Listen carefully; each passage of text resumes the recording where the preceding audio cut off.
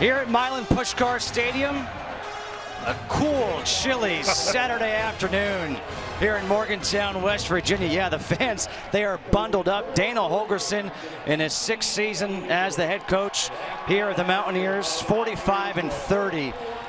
Really honest with us this week about how he has evolved as a head coach. And he has certainly done a good job with this program. He thought his team would be good this year, and they have been good. At 9 and 2 overall, 6 and 2 in the Big 12. And for Baylor, in his one year as the acting head coach for the Bears, Jim Grobe, taking over for Art Briles. He said his job was to come in here and just put an arm around these kids. Yeah, and I think that they did a very good job in, in, light of everything that happened. There's no way you could get rid of the assistant coaches. They needed the structure of that system. We'll see what happens as the year unfolds and we go into 2017. But Grobe was really kind of a perfect middleman to come in, take care of these kids, uh, be a face of the program, and talk to everybody. And what happened? Well, the turmoil in the offseason for Baylor. Art Briles was fired. They hired Grobe. They started the season 6-0, went to number 8 in the AP poll, but then they have lost five in a row. Average margin of defeat over 20 points per game. And that's where they are right now, having lost five in a row after their loss last week to Texas Tech 54-35. They have elected to receive. It's going to be a gut check here for the Bears in this cold weather in Morgantown. Mike Molina kicks off Tony Nicholson to return from the five. And Nicholson has a bit of a hole and gets up across the 25 to the 27. And what should we watch for when Baylor has the ball? Well, I'll tell you what, KD Cannon, this is a great wide receiver. Smooth style, pretty runner, great routes on foot speed. West Virginia's got a good secondary. That's a great matchup. And as far as that matchup, Rasul Douglas, cornerback, ball hawk, eight picks this year. He leads the nation. Big and long, 6'2", 208-pound corner. They had one in Worley last year. Here for the Mountaineers, just a lot of fun to watch defensively. On first down, the handoff is to Terrence Williams, and Williams gets hit by Christian Brown. Christian Brown tackles him after a pickup of one. And that's been a big difference for West Virginia, their defense. But Zach Smith, the freshman quarterback last week, coming off his best game, 30 of 46, 377, three TDs, one pick. Second down and nine.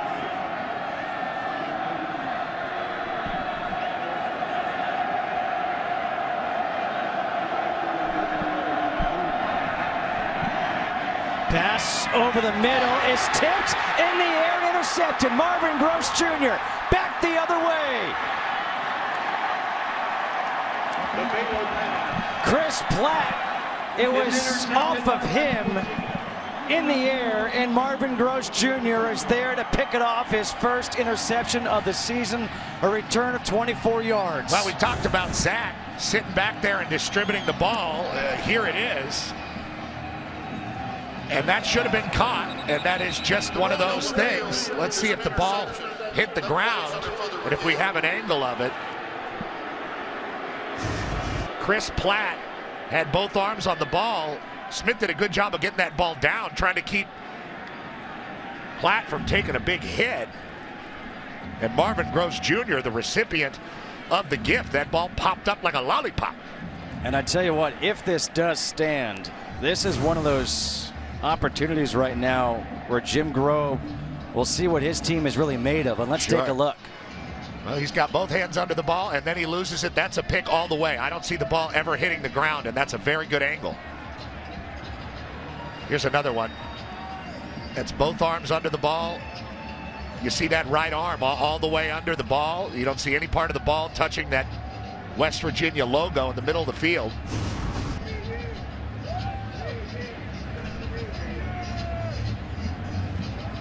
Pretty good coverage by Harper, who was all over him, and that's why Smith threw the ball down like that, which was a, a good throw. Mm -hmm. Marvin Gross Jr., the junior out of Baltimore, Maryland, with the interception and the 24-yard return. Dana Holgorsen waiting for the official call. Here he is getting down to get it. Should have been a catch for a first down. Instead, that ball pops up.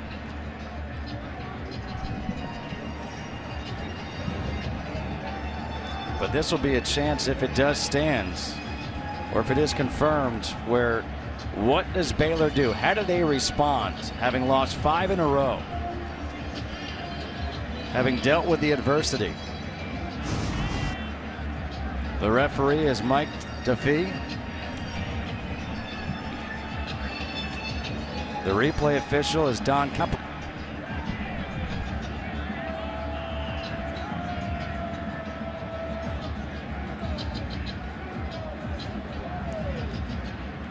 And I think Mike right now is thinking, can we make a decision? My hands are getting cold. it's going to be a long day out here.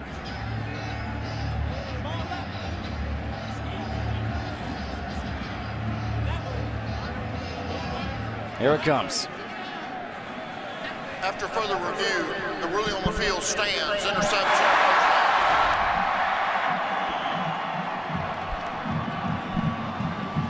An early turnover here, the interception, and now great field position for West Virginia's offense. You can't ask for a better start. They came out physically tough on defense. The best group they have is their D line. Stout against the run on first down, second down. They get a gift of an interception. And Zach Smith, I'd say has to bounce back from that, but it was a good throw. So now Skyler Howard will take over at the Baylor 30 with Russell Shell in the backfield. On first down, Skyler Howard will run with it. And Howard dives forward to the 27, gets three. And what should we watch for when West Virginia has the ball? What about these guys up front? Adam Pankey, Tyler Orlo Orlosky. These are beautiful offensive linemen with a physical mentality. They're playing fast. Shell will come up about a yard or two shy of that first down marker as he gets five. Trayvon Blanchard with a tackle. The strength of the West Virginia team on both sides of the ball is the D-line and the O-line. And K.J. Smith for Baylor, playing at the end and on the inside, a very versatile D lineman, has got to be the guy to stop that O-line from getting too much of a push. On third and two, the pass to Javon Durant was dropped as he went to go run before he had it. And here, Dana Holgorsen says, uh-uh, keep these guys on the field. We're going for it here on fourth and two. When you have an O-line that can get a push, it's a pretty good idea to do so. Let's see how they attack it.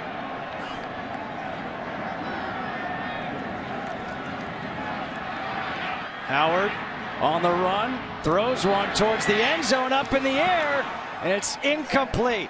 So Baylor does the job defensively off the interception.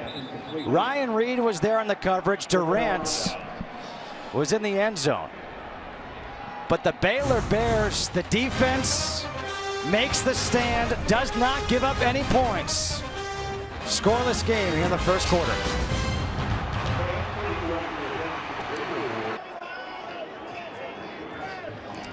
No score here in the first quarter off the turnover. Javon Durant is okay.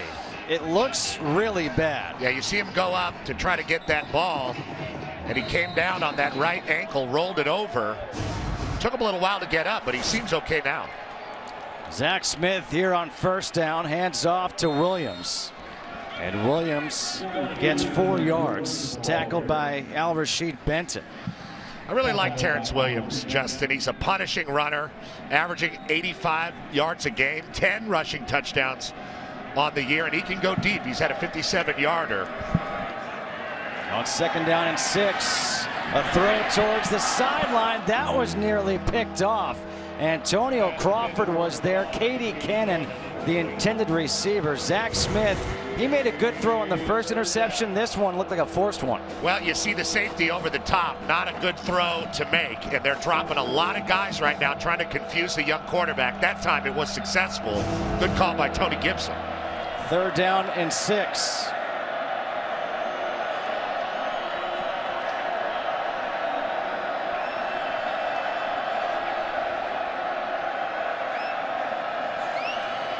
Fakes one way, comes back the other, and completes the pass to Ishmael Zamora.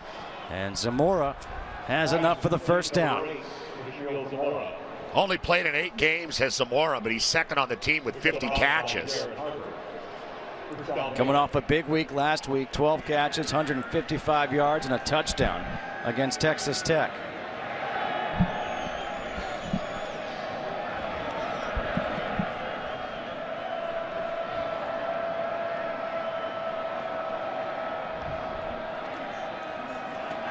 Williams. Up to the 34, gets two. Noble Nwachukwu with the tackle. And that's what West Virginia's looking to do on first down. Limit their ability to get any kind of chunk yardage so they don't get into that offensive rhythm to help the freshman quarterback, Zach Smith. Second down and eight here for Baylor.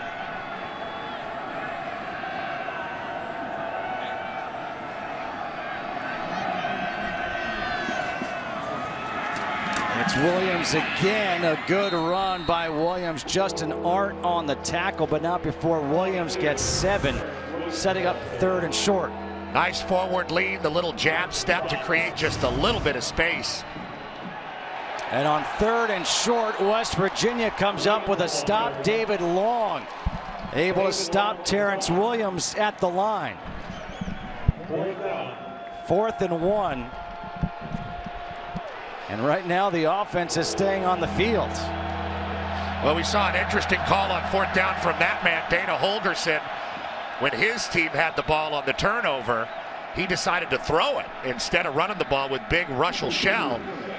This time it looks like Jim Grobe is going to punt. Well, now Drew Galitz comes on. Gary Jennings is back deep for West Virginia at his own 20.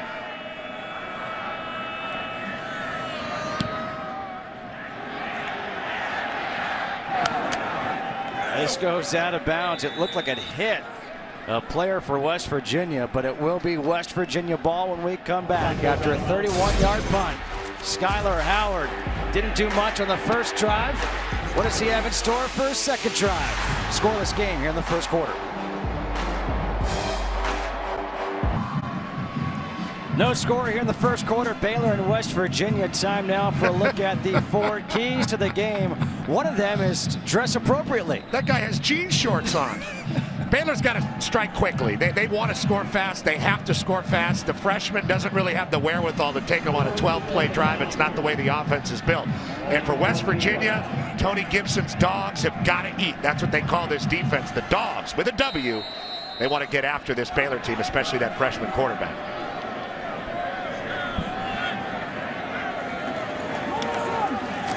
On first down, the handoff is to Justin Crawford, and Crawford moving that pile. He's going to get 11 yards and get a first down. Well, he's been the man this year. Transfer from Northwest Mississippi Junior College. Had his first career start versus Mizzou this year, and he's averaging seven yards a carry. Just a great back, a great replacement for Wendell Smallwood from last year. Crawford trying to dance his way, able to dive forward for a yard. KJ Smith, the guy that you highlighted, makes the tackle. Second down and nine here for the Mountaineers.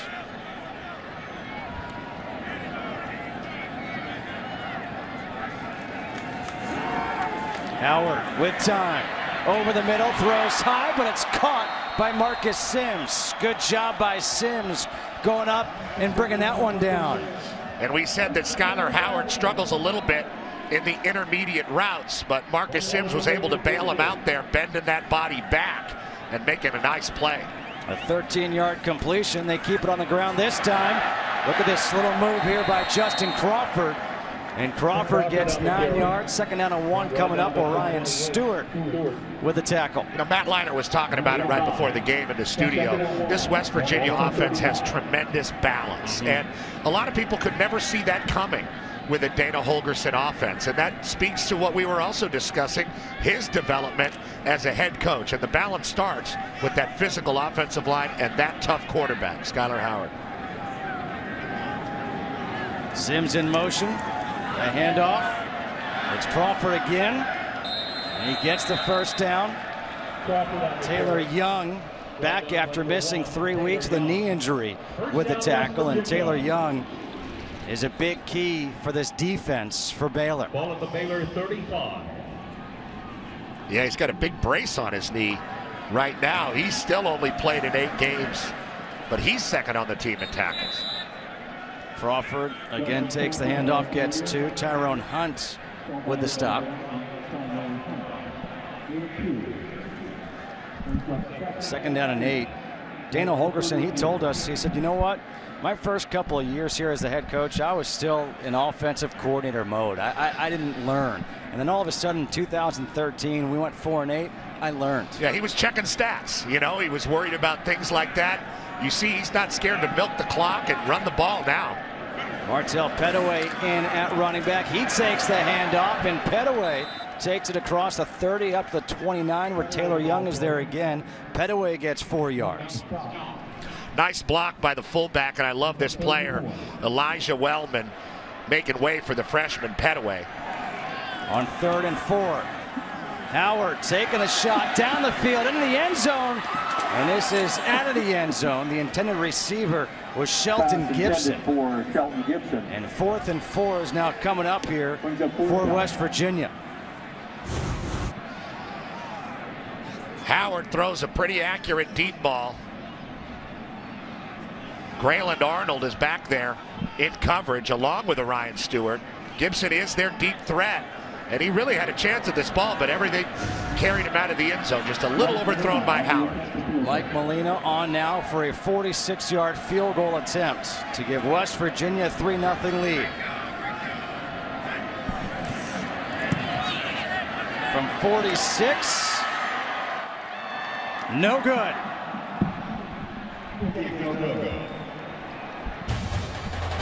What did I say at the beginning? These two teams combined for a lot of points. So far, none. It's cold. Scoreless here in Morgantown. Time for a game break. Let's go to LA. Here's Mike Pomerantz. Gentlemen, the Bedlam rivalry game over on Fox. Number 10, Oklahoma State and Norman taking on number 9, Oklahoma. Joe Mixon, who had been held to 20 yards on 10 carries until this. Mixon would go 79 yards for the score in the fourth quarter. It's 38-20 Sooners now in the fourth, and Justin Petras. This game will determine the winner of the Big 12.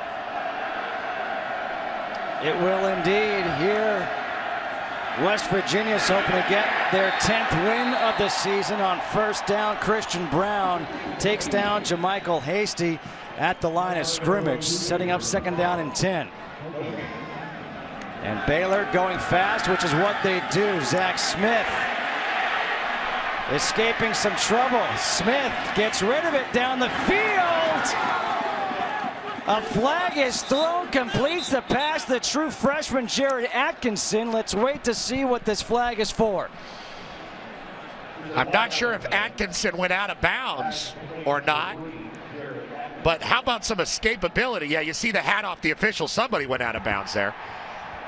Zach Smith got away, and he is not that mobile of a guy, but got away enough and kept his eyes downfield to keep the play going. Let's see if it stands.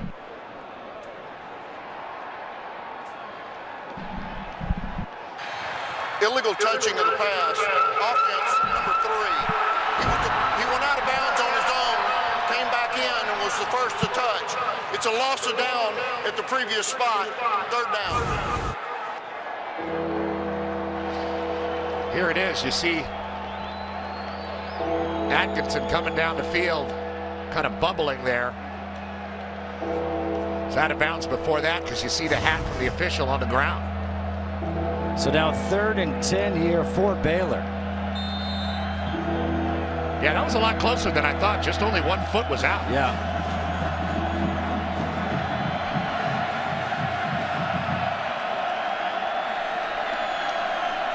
Hasty goes in motion. Pressure and going down is Smith taken down by Adam Shuler, a loss of one.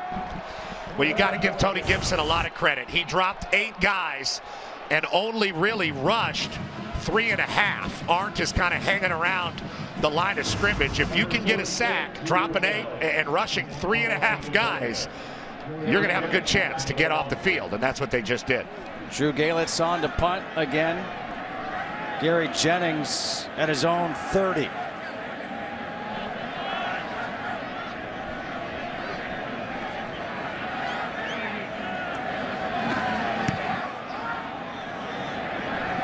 Fair catch signaled and made at the 40 yard line. A 31 yard punt. Once again, there.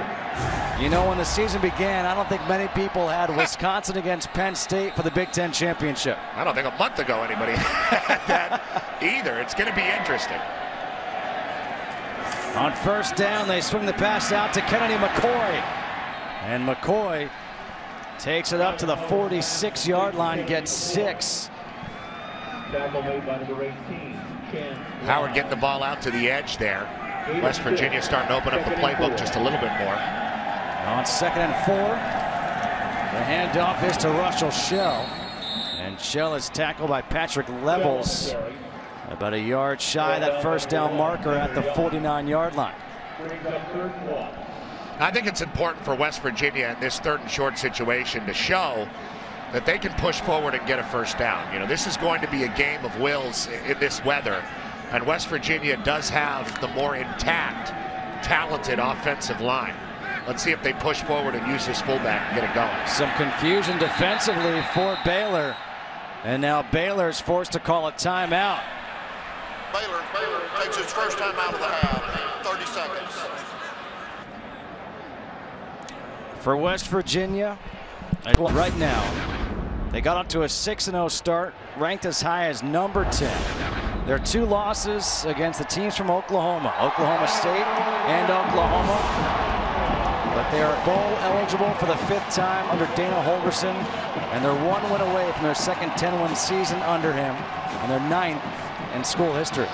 Not only that stuff, Justin, but I think beyond what they've done this year is that they have an identity. I agree. Yeah, West Virginia has a clear identity under Dana Holgorsen, and it's not an air raid identity. It's an identity that I think everybody in this state can relate to, and that's why they have so much momentum right now. Third down and one. Marcus Sims goes in motion. Howard goes under center, and they just push that pile.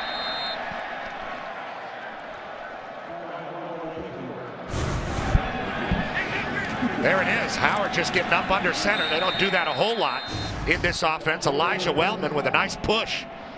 You always get a free shot at that quarterback in his back when they run the, the sneak. Howard. Forced out. Just throws one high in the air, deep down the field. And it's incomplete for Marcus Sims. There on the coverage was Chance Waz. Tell you what, one thing about Skyler Howard, he will just throw it up in the air down the field. Yeah, he likes to throw the deep ball. He really does. And he squared up his shoulders and, and got that one out. And he's been a little bit inaccurate with that deep ball in this game. That time he was on the run. But from the pocket, a little bit more inaccurate than he usually is this afternoon thus far. Just two for six and 19 yards so far for Skyler Howard here in the first quarter.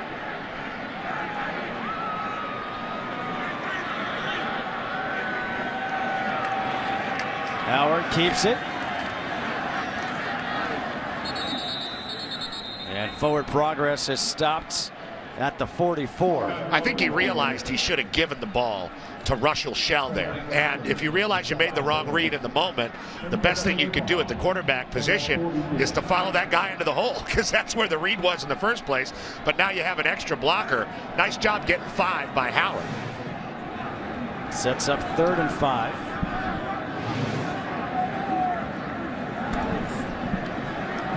Howard with time over the middle, and that one is picked off. Taylor Young. There is a flag on the field as Young is out of bounds at the 45 yard line. Devontae Mathis was the intended receiver, but Taylor Young making his return from a knee injury has the interception. Makes a pick with that big brace on his leg.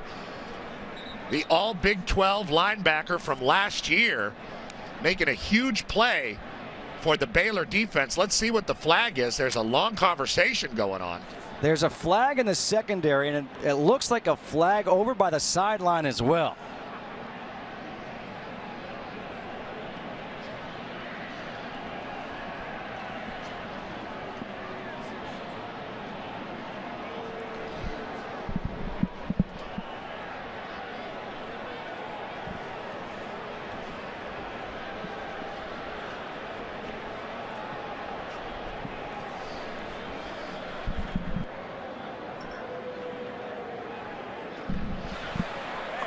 Two fouls on the play.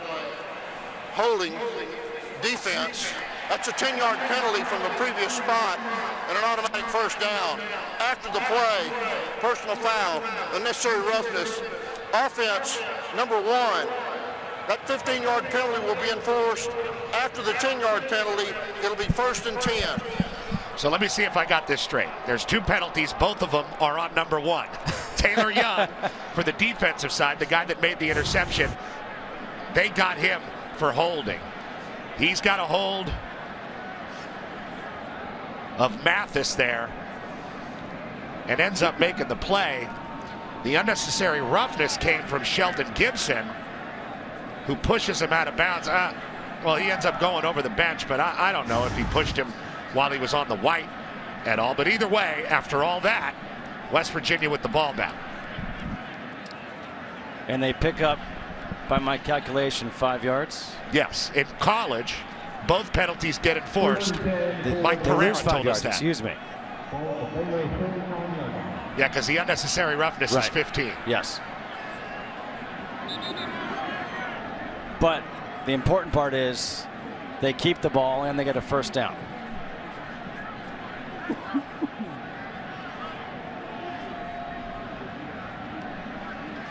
and that official gets his flag back. What, what, I mean, do you think they bring extras?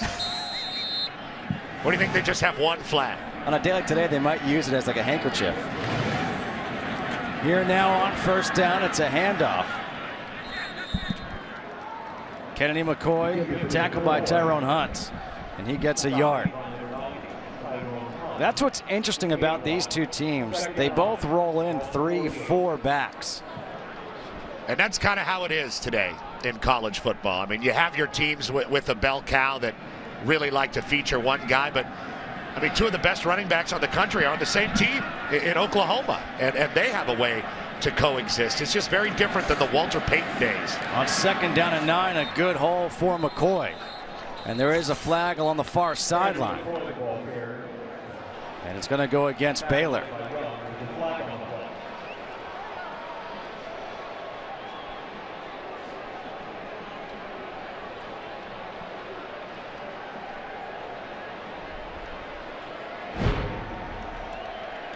Baylor offsides there, so there's your five yards back. I think it was against number 43, Jamie Jacobs. But this is what we're talking about. Rolling in four running backs. And all four running backs have had at least one 100 yard game this year. Well, Shell has been here a long time as a big backup. Nice changeup. Crawford's taken over that Smallwood role. And then you have two freshmen who are pretty excited. Howard with time again, taking the shot down the field. And there's a flag thrown as Shelton Gibson was the intended receiver. Orion Stewart and Chance Waz were there. And it looked like Gibson just ran into one of them. Well, Gibson has the best average per catch in the Big 12. He is a legitimate deep threat, I would say, other than Dede Westbrook and Washington at Oklahoma State. He's the best receiver going deep in the conference, and they can continue to do that and, and try it, and you're going to get a penalty, or he'll probably go up and get it. He is very dangerous. Coach Grobe knows, and this defense has come out looking a little bit undisciplined for Baylor to start out the first quarter. Well, the microphone for Mike Defee is not working right now, but there was a penalty. And now it's first and 10 from the 28 yard line. Howard steps up, takes the shot, overthrows the intended receiver, Gary Jennings.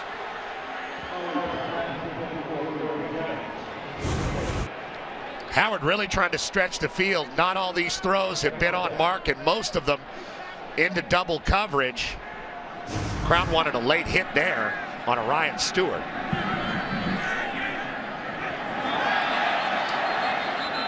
Flags thrown. Flag on the play.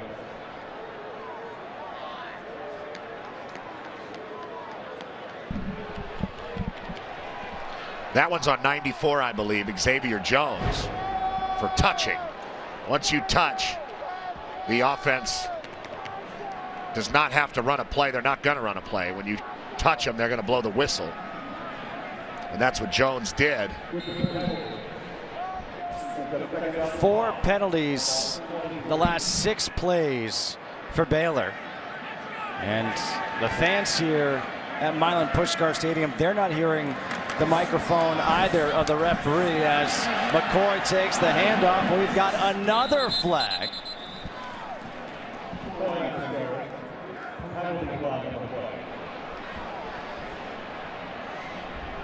Blanchard with the tackle.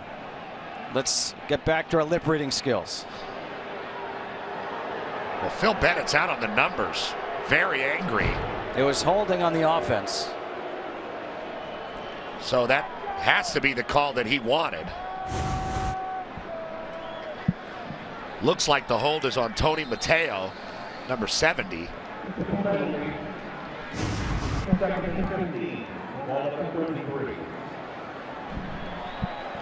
Second down and 15 now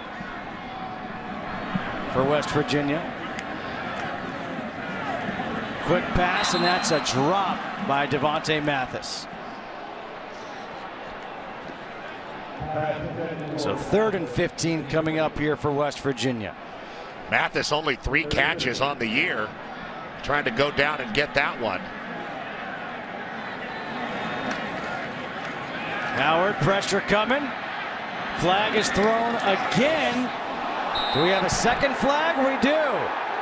You get a flag. You get a flag. Everyone gets a flag.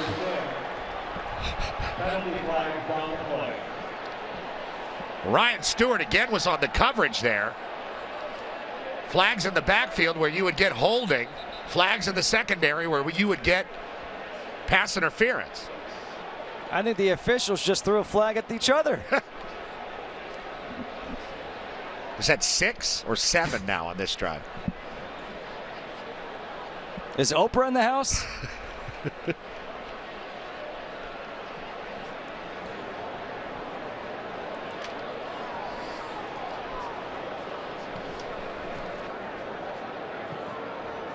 Now the funny part about this is that Mike DeFee is going to try to tell everybody what these flags are for, and nobody's going to know what they're for. We're all going to try to read some lips and figure this out. This might be on KJ Smith for hands to the face. These both might be on the Bears. Let's see what we got. Multiple fouls in a play, pass interference. Number 28. Yep.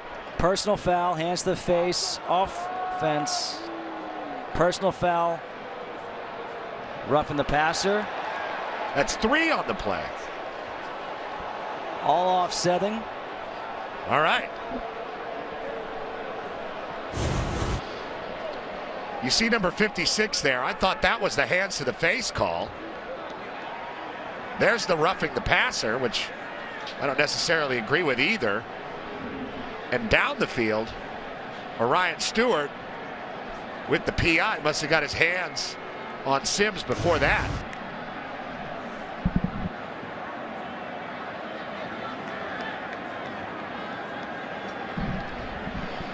They're saying it's targeting on Patrick Levels, who hit Skyler Howard. And, and he did hit him with his head, but there's no helmet to helmet, and he wraps him up pretty good. Yeah. I mean, he drives him into the turf a little bit, but I, I don't see how you can throw a kid out for that. He hits him right in the sternum there. I, I, All right, let's let's bring in Mike Pereira from LA right now, and let's see, if, let's see if Mike's lip reading skills are as good as ours, and if if he can decipher what we're trying to figure out here. But we do know, Mike, that they're looking at targeting, and and what's your take on what he's looking at right now? I don't know. Now we know how valuable the microphones are. Huh? we, we, we really have three fouls called and probably a fourth because you could have defensive hands to the face also. Yeah. Um, but it's all revolving around this targeting call. And, and again, it, it's to me, it's not targeting. I mean,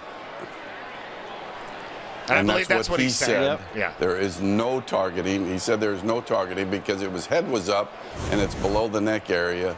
So all of this stuff it's just one big giant offsetting penalty here, is uh, what I assume Mike DeFee would explain if he actually had the ability to do it. But uh, this, this, gives me some this gives me some value here. I'm gonna I'm gonna be ready to flick on my microphone anytime we have something to chime in. Yes, please do. Stand by. Six penalties by Baylor this drive, and after all that, it's third and 15 for West Virginia.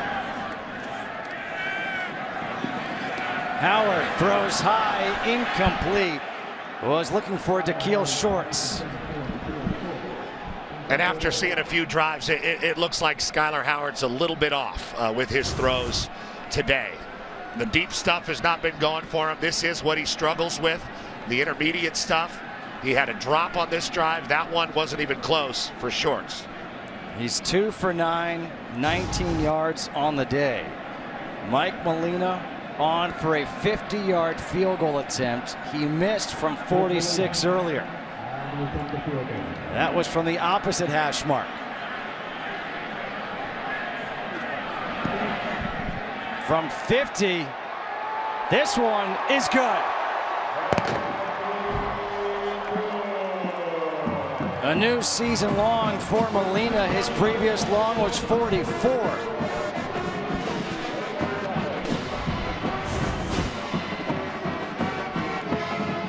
Hit it pretty good, and he was hitting those in warm-ups. We were down there watching him. Strong leg. Not too much wind to speak of. It's damp out here, but he got it pretty good. So after all that, all the penalties, it results in three points for West Virginia.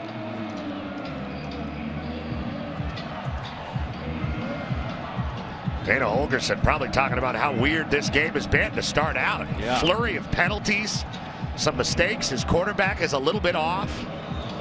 Defense forced an early turnover, but the offense could not capitalize. And Baylor's offense has just been kind of hanging around, shadow boxing. They haven't gotten any kind of rhythm going whatsoever. So now Molina, after that 50-yard field goal, will kick off with Troy Nicholson back deep to return for Baylor.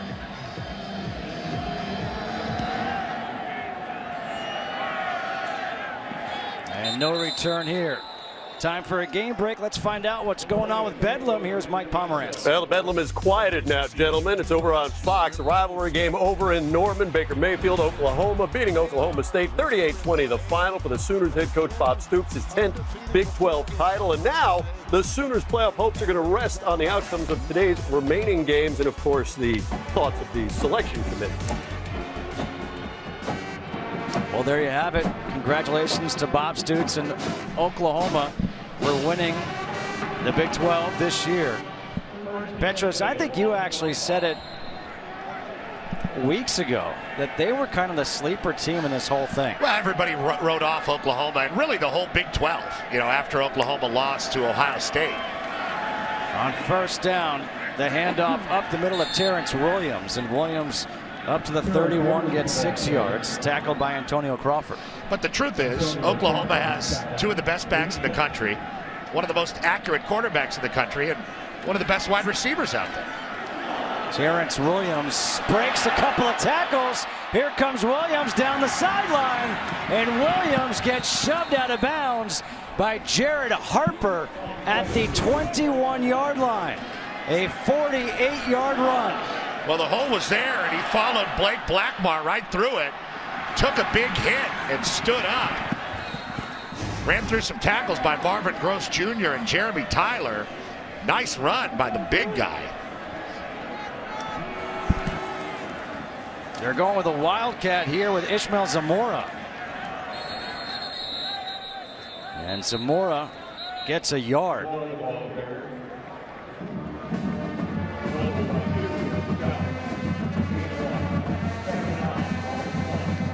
Second and nine, Zach Smith back in at quarterback. Well, that's one way to get things going. If Baylor can run the ball, everything changes for Zach Smith because then West Virginia is unable to pin their ear, ears back and pressure him the way they want to to try to confuse the young freshman. If they can run the ball, That'll change the complexion of this game. JaMycal Hasty in the backfield. Smith swings it out, completes the pass to KD Cannon. Jeremy Tyler brings him down. Cannon gets six. There's Kendall Briles, his father Art, obviously the architect of this offense. Wide receivers way out past the numbers, spreading everybody out. And that's their bread and butter, throwing those hitch plays and getting a good lead. Third and two.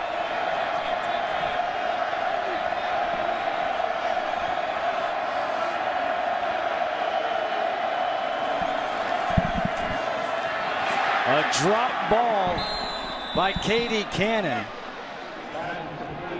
Excuse me. Did he pull that one down after he was down? This doesn't happen very often. Wow. Cannon loses the ball, but then Oh my gosh. is able to stretch out and make the play. Very athletic off his original mistake. He actually caught it three times. And now they're going to take a look at it, but that's a good catch. KD Cannon, who has caught a pass now in 37 consecutive games. Obviously a guy with good hands. In real time, I thought the ball was a little bit behind him. It was not. It was right on the number nine.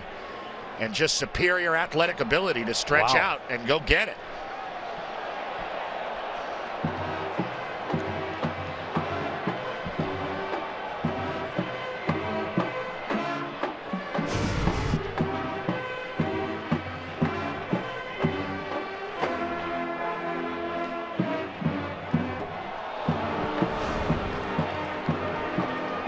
Is confirmed as a catch. And with that catch, he also has the first down. Setting up first and goal.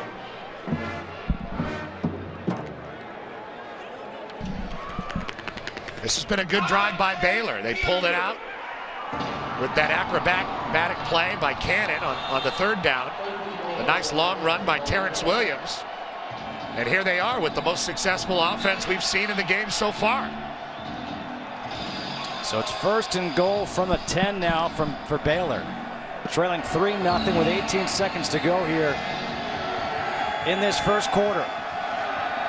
A weird first quarter it has been. Up the middle with Terrence Williams. And he gets a yard. Christian Brown is there, and that will be the end of this first quarter. These two teams combined for 100 points last year. In this first quarter, they've combined for three. It's been a defensive struggle thus far, but West Virginia leading 3 0. But second and goal coming up for Baylor to open up the second quarter. A look at the first quarter stats. Nothing really jumps out at you except for maybe penalties. Five for Baylor, penalized 35 yards, two for West Virginia, 25 yards. But look at this. I And a lot of offsetting penalties that aren't out there. and, and now you're looking at second and goal for Baylor. They're down 3 nothing. But sixth place, 66 yards on this drive for the Bears. The big play was the run by Terrence Williams. He's in the backfield next to Zach Smith. And he takes the handoff, and Williams breaks free to the end zone. Touchdown, Terrence Williams. Heck of a run by the sophomore out of Ennis, Texas. Punishing runner, there's no doubt about it. And look at him coming downhill. Breaks two tackles there, breaks another two tackles there. They could not keep him out of the end zone. He had that 48 yard run and now the nine yard touchdown run, and that's his 11th rushing touchdown of the year. And that'll bring on Chris Callahan for the extra point. Baylor now leading 7 to 3. Terrence Williams, one of the three backs for Baylor, does most of the work on that drive, and he capitalizes with his 11th touchdown of the year. A 75 yard drive where Terrence Williams did the bulk of the work. 64 rushing yards on that drive, had that 48 yard run, a 9 yard touchdown run. And now Baylor leads 7 to 3 as we're just underway in the second quarter. And Williams got that drive going by breaking tackles, and you have to do that. West Virginia, really one of the more good tackling teams in the country, and of course the Big 12. You had the nice throw from Zach Smith to KD Cannon on third down that he was able to catch like the third time he tried. And there you have a touchdown drive for the Bears. A short kick by Galitz. It's Gary Jennings. And he fumbles it. And it looks like West Virginia has recovered it.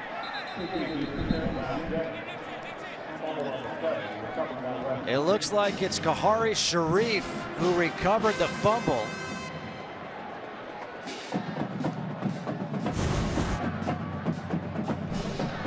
Well, he's got the ball out a little bit unprotected, but you see the helmet right on the ball. And sometimes you just can't fight against that as a ball carrier. That's Jordan Williams knocking it clean out.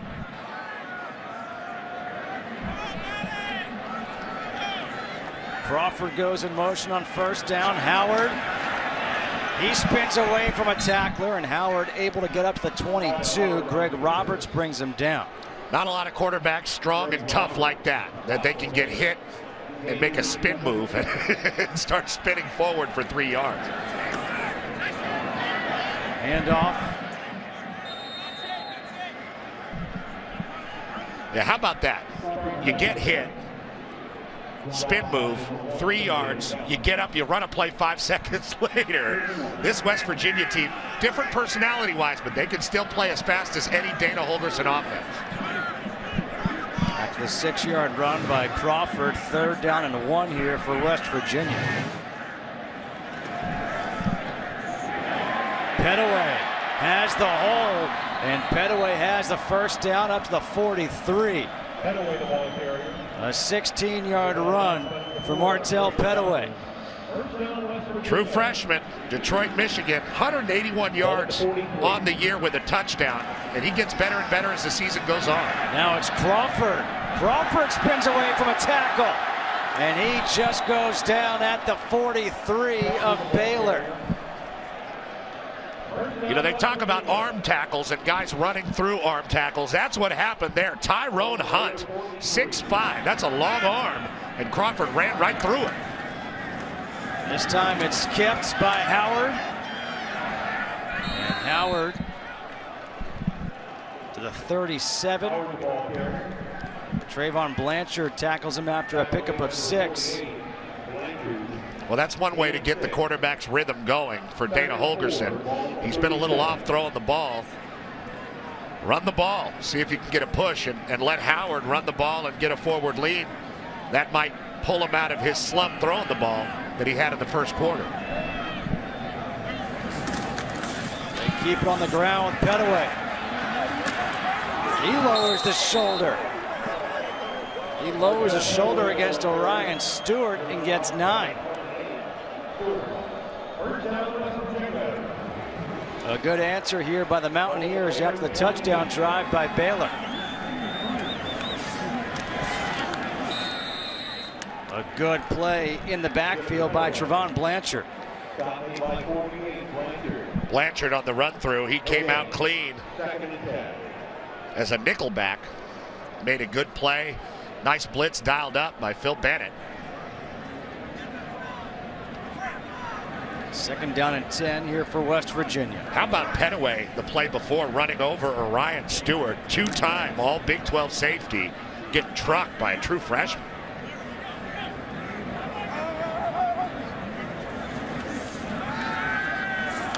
Howard taking the shot to the end zone again, too deep. Incomplete. Ryan Reed there on the coverage. Marcus Sims brought it down, but he was out of the end zone. And there is a flag down by the 30 yard line. Let's see if we charged up the white hats. Mike.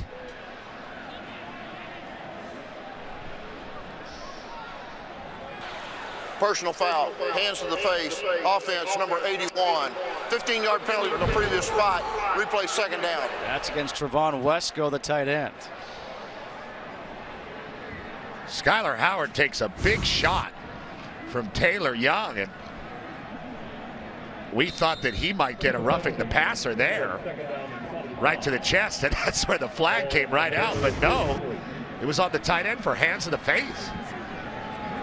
Now second and 25 as the ball is backed up to the 43-yard line. Howard rolls out to his right, throws back over the middle, high, incomplete. Shorts was the intended receiver. Really nice play call, getting Howard out. He sees Shorts, and the ball is just sailing on it. I mean, I, I don't know what to tell you.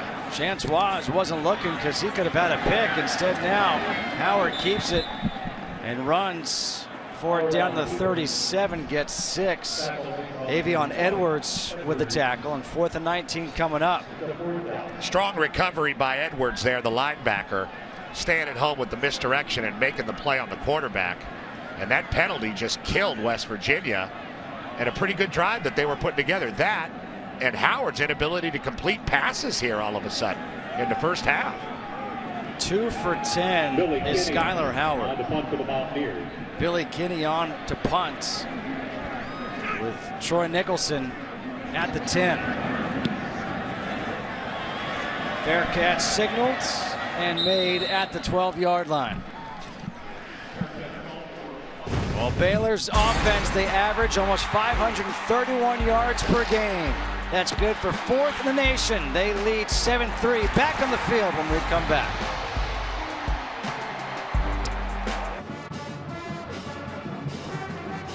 Baylor leads West Virginia 7-3 here in Morgantown. Time for a game break. Let's go back to L.A. Here's Mike Pomerantz.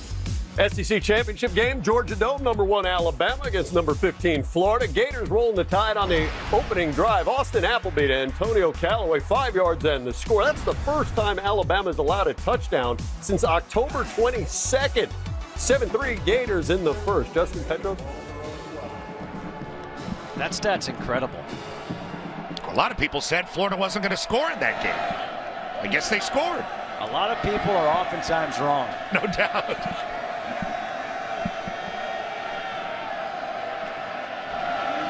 First down, Smith throws towards the sideline and it's incomplete. Jared Atkinson could not come down with a foot in bounds. Throwing the ball accurately has not been easy for either of these quarterbacks. That one a little high from Zach Smith. Hard to get warmed up in this kind of weather.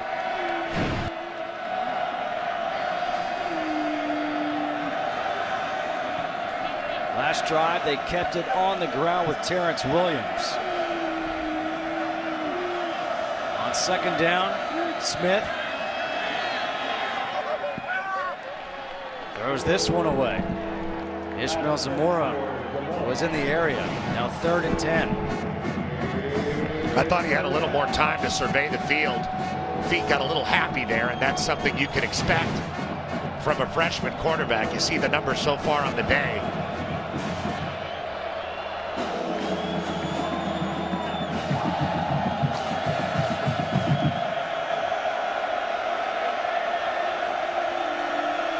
Big play here for field position for West Virginia. Smith incomplete was looking for Ishmael Zamora. Rasul Douglas there on the coverage and now what's going on down by the goal line?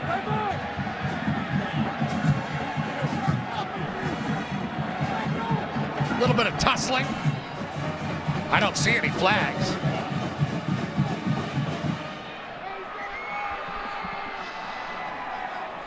Tony Gibson angry too. You know it. On third down, if your defense can get off the field, then get off the field. Don't stick around. David Long have it right now.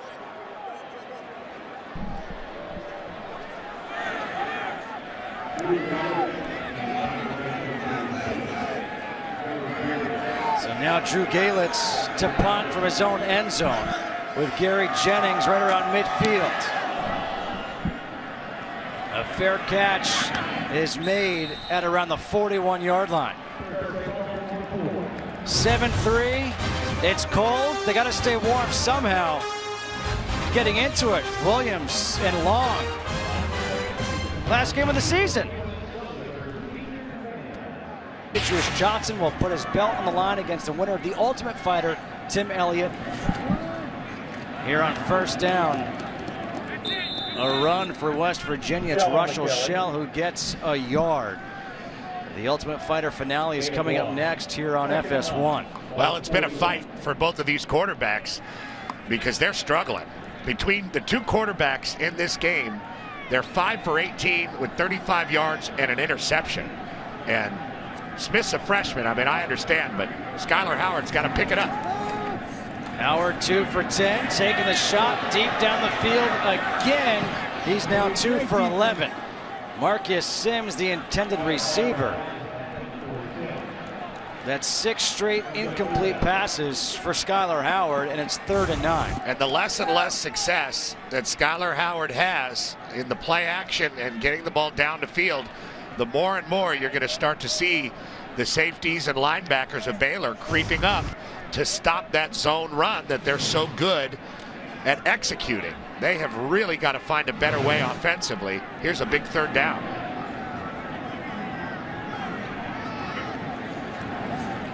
On third and nine, Howard in trouble, escapes, and now he goes down. The pressure applied by Greg Roberts. Howard lost his shoe, and it's a loss of eight. It looks like he has a lane there, but he runs right into his own guy, Tony Matteo, the guard. Big survivability is in the pocket by Howard, but Patrick Levels is able to clip his foot and get the sack. Great job by Baylor getting off the field. Billy Kinney on to punt again. Tony Nicholson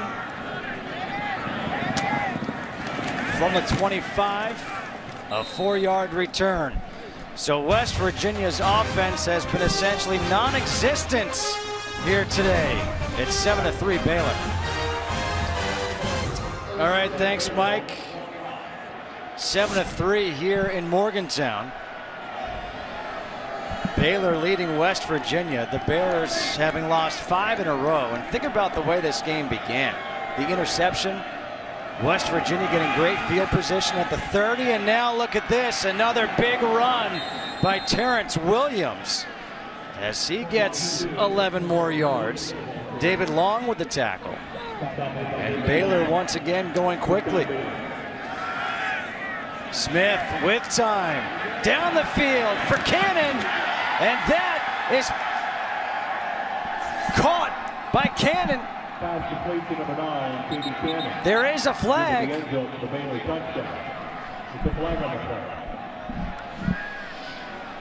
Accurate deep throw by Zach Smith. First, you get the punishing run by Terrence Williams, and then playing fast, Baylor goes deep. Pass interference.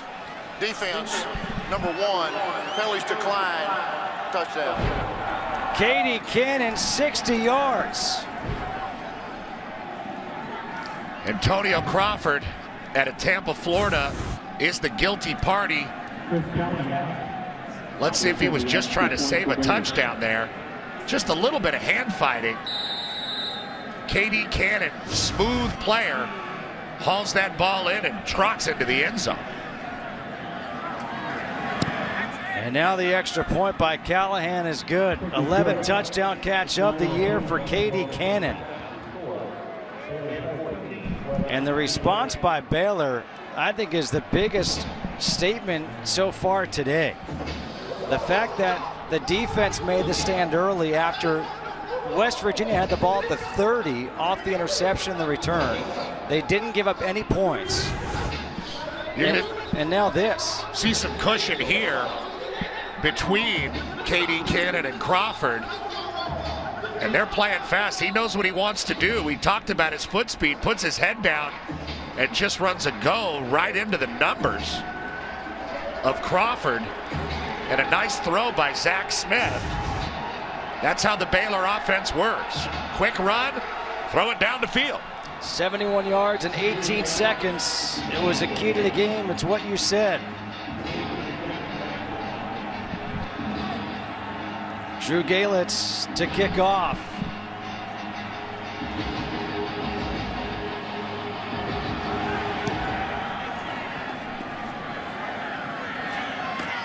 It's Shelton Gibson from the one. And Gibson gets back up to the 22 yard line. A 21 yard return. And the issue right now for West Virginia is offensively, they have gotten nothing in the air from Skyler Howard. And they've got to find a way to get him going. They've got to find a way to get him a completion or two, maybe a nice run, something to get the confidence back in their senior quarterback. This is a guy that's played the ball all year with big confidence. And it's not happening right here on senior night.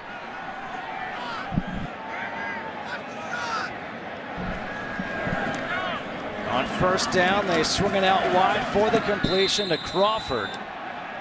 And there's a flag.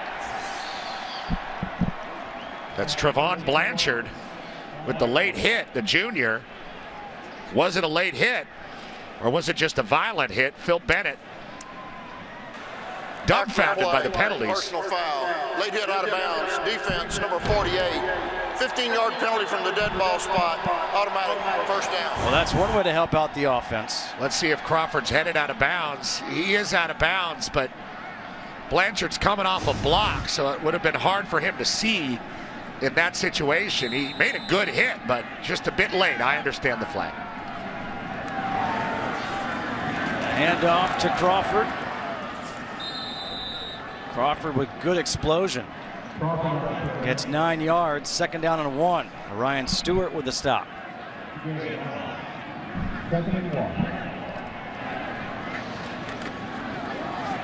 It's Crawford again as he's got the first down up to the 49 of Baylor. And you got to think right now for, for West Virginia, just confidence-wise, they need something good on this drive. Yeah, but they don't need to be impatient. You know, they've thrown the ball too too deep too many times to no results so far in the game. There's plenty of time left. You're right in the middle of the second quarter. They just need to calm down and realize they're playing at home and refine their identity. And again, it's Crawford. And again, a good run for Crawford as he gets 10 more yards. The run game for the Mountaineers is very interesting to me because they're primarily a zone running team, but they do it in such a quick hitting way that there's very rarely a cutback. Everything stays front side, which means it's very physical. Ryan splits out. The pass comes near side, complete to Gary Jennings. And Jennings gets six.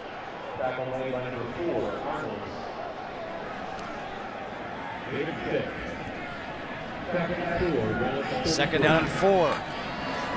Handoff up the middle.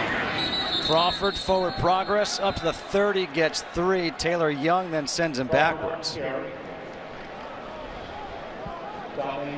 And West Virginia has been able to move the ball running it. They have gotten Shell, mostly, Crawford, and Pettaway involved. Even McCoy a little bit. All four of their backs. There's Pettaway, the freshman, in the game for the third and short. But can they throw the ball with any kind of success? So far, not really. 128 rushing yards for West Virginia, now third and one. Traditional I formation with Elijah Wellman at fullback. The handoff. And a break free by Pettaway. Pettaway gets nine on third and one. Look at the physicality here. First, Wellman with the hit on Taylor Young. And then Pettaway putting a highlight tape together for running guys over. Stay in the same formation. And now they give it to Shelton Gibson. And Gibson takes it up to the 17 yard line. He gets four. Avion Edwards with the tackle. I like the change up there. Your quarterback is struggling. You're running the ball with some success. Throw a little reverse at him. Show him that Gibson's going to do something else other than go deep.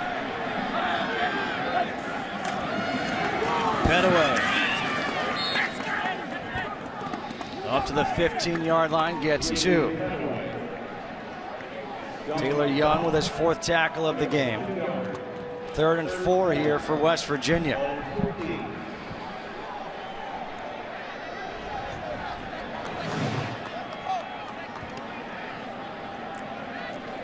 The Mountaineers just two for seven on third down conversions today.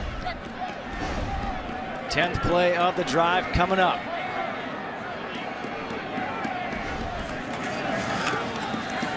Pettaway with the cutback. Forward progress, he'll get a yard. So fourth down coming up. They're trailing 14 to 3. Pretty conservative call because I feel like they wanted to get about half of it. Go for it. They are going for it on fourth and three. Martell Pettaway in the backfield.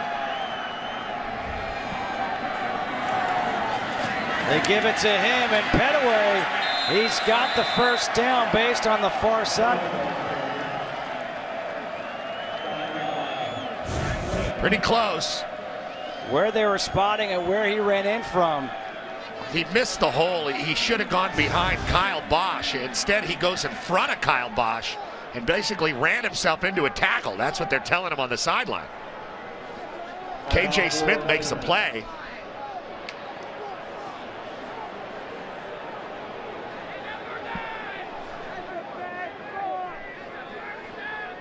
I'm not sure if he got it. On the spot. Oh, oh wow.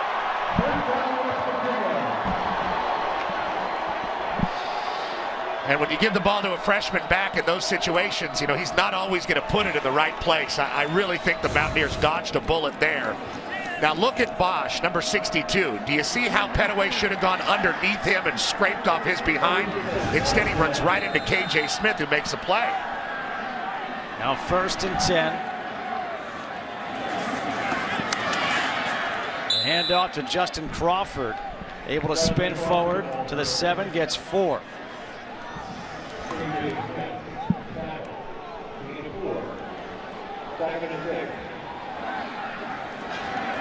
Howard, design quarterback run. And Howard gets up to the four yard line. Here's another third and short situation. You wonder if Dana Holgorsen is just going to run it twice again right into Phil Bennett's defense.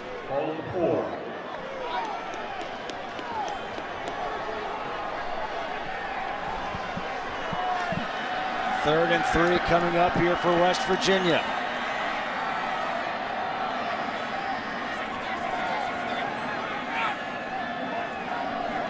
Crawford moves over to the right of Howard. Howard will throw it this time, and it's incomplete.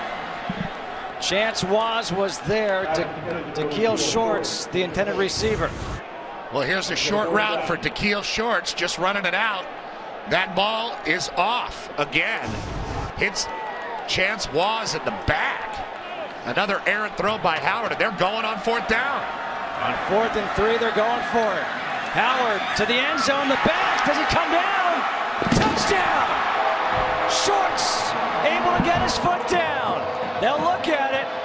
They do say touchdown.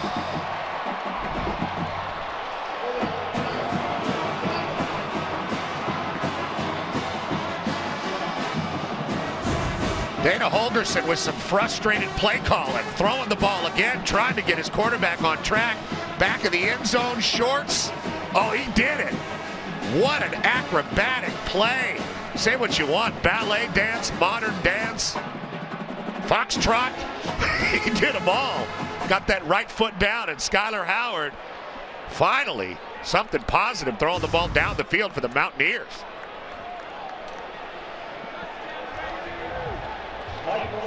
Dana Holgorsen going for it a couple of times on fourth down, and it pays off. And now a timeout called by Baylor. Phil Bennett wants a timeout before the extra point, but a 15 play touchdown drive took over five minutes. And give a ton of credit to Daikiel Shorts because Baylor, he came down second time out of the and half. it looked as seconds. if he realized that he wouldn't be able to get the left foot down. And as he's in midair, he switches to make sure it's the right foot that comes down.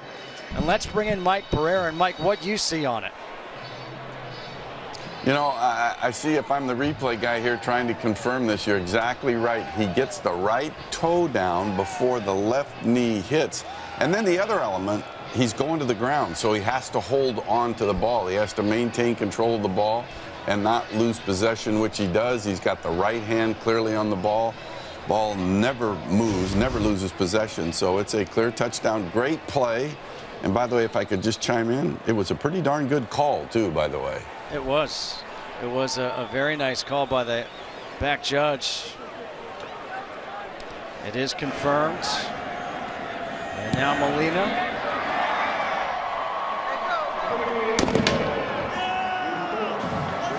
First touchdown of the day for West Virginia. And now it's a 14-10 ball game with 3.52 to go here in this first half. Well, if your quarterback's struggling, get back to your most veteran player on the edge, Daikiel Shorts. 33 career starts here in West Virginia, the most catches on the team. And just a special play showing great body control. Daikiel Shorts bailing out Skyler Howard on another high throw. And let's see if that gets him on track. And Baylor's a quick strike offense. Let's see if they can strike back and answer that score. And, and, you think about how crazy the game of football or sports can be, but that's fourth down, right? You don't make that play, confidence to Baylor. What happens? Now all of a sudden it's a four-point game. And now Mike Molina will kick off. Tony Nicholson back deep for Baylor. Can Baylor respond like you just said with their quick strike offense? Or does that touchdown give some confidence to the West Virginia defense? It's Nicholson from the three. And he brings it out to the 20 Seven yard line. Time for a game break.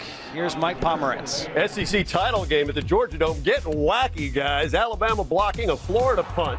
Joshua Jacobs would return it for Alabama's second non offensive touchdown of the day, the 14th time they've done that this year. Florida, though, would block the point after, pick up two. It's 16 9 Crimson Tide in the second. So it's been a weird, wacky day there. It's a weird, wacky day here in Morgantown. It's colder here. It is. so cold. If got to be careful. You don't put some chapstick. You couldn't look like Yoda with Yoda's lips after a little while. Terrence Williams. They say he's down. And it looks like he's in some pain. Oh, he's going to get up. Really on the field, his forward progress was stopped prior to the ball coming out. Second down. He got rolled up on and the ball came out. They're saying forward progress was stopped. And it was. They were bending him backwards there. They shook him up. Ishmael Zamora is in in the Wildcat formation right now. Now it's second down and nine.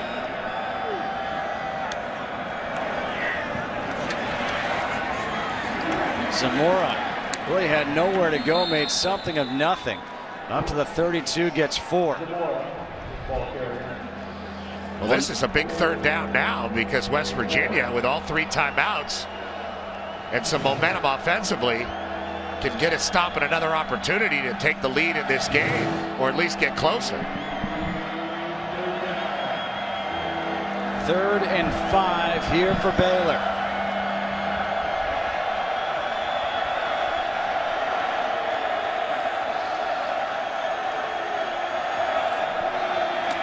It's a handoff. And a good run by JaMycal Hasty. Tackled by Jared Harper. Picks up eight and gets the first down. Nice block by Dom DeSouza. Leading through. Hasty, a redshirt freshman. Pretty good year he's put together for a young guy.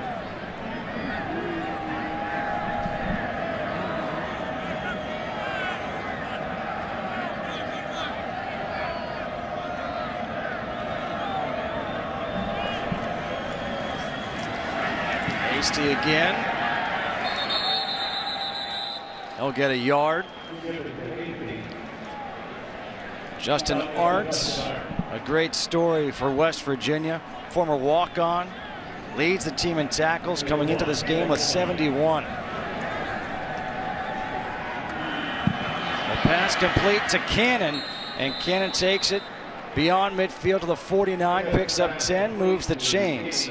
Let's see what kind of tempo Baylor uses with one timeout and another first down if they trust this freshman quarterback, Zach Smith, to take a couple shots.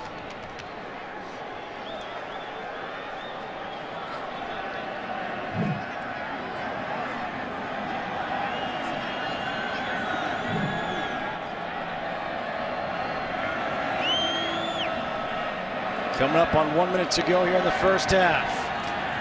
Smith moving around, taking the shot down the field again, throws this one to a West Virginia player, intercepted. Jeremy Tyler with his second interception of the season. Chris Platt was the intended receiver. Well, we talked about trusting the quarterback to take some shots and Platt kind of gives up on his route and then starts again. The truth is he came open a lot sooner than Zach Smith saw him. And if he was going to throw it, it needed to be thrown a lot sooner than that. It doesn't help that Platt kind of throttled down on the sideline too. Just an ugly looking play by the Baylor Bears after a couple good first downs. Second interception of the game for Zach Smith. The first one wasn't his fault. That one probably was his fault.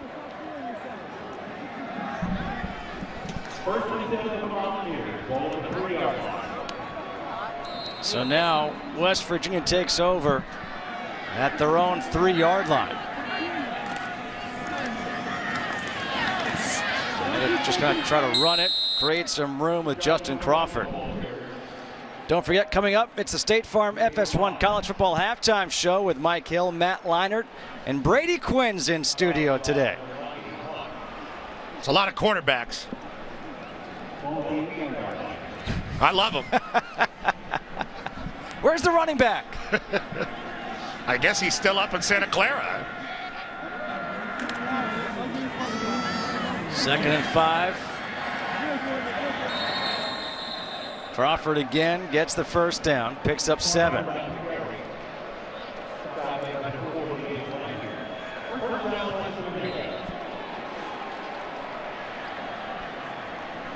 Very strange half, Justin, but it does seem like West Virginia kind of wrestled back law and yep. order, but they're not winning.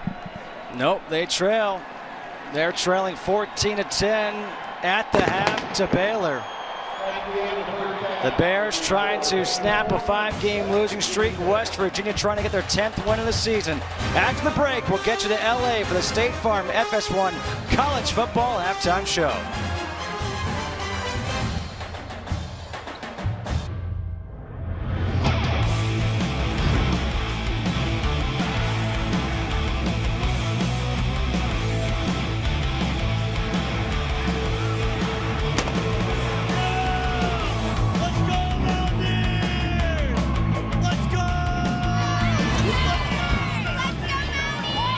For some more fireworks here in Morgantown as West Virginia trails at the half 14 to 10 to Baylor. Justin Kutcher alongside Petros Papadakis.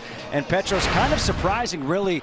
We expect to see a whole lot of points with these two teams. Not much in the first half. Well, West Virginia ran 50 plays. They had 16 first downs and were only able to muster 10 points. Amazing that Skyler Howard struggled the way he did throwing the football. We'll see if he can get his bearings in the second half.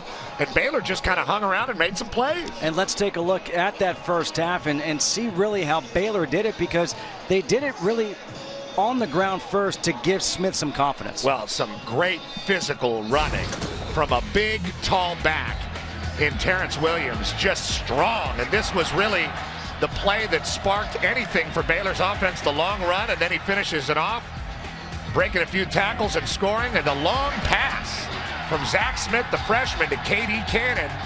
Fits it in a tight window deep. Skyler Howard has been struggling, but bailed out there by Daikiel Shorts with an unbelievable catch and foot acrobatics to score. And there we are. A look at those first half stats. The total yards are just about even. The penalties, the fourth down conversions were huge for West Virginia. Both their fourth down conversions came on that touchdown drive. Yes, it's the holiday season. We're past Thanksgiving, so it is okay to wear the Santa outfit. Absolutely. The leaders for Baylor, Zach Smith, 5 for 11, 86 yards, but most of those yards coming on that touchdown pass, 60 yards to KD Cannon. Terrence Williams, 11 carries, 90 yards, 48 of those coming on his long run. And KD Cannon had that 60 yard touchdown catch. He's got 80 yards on the day.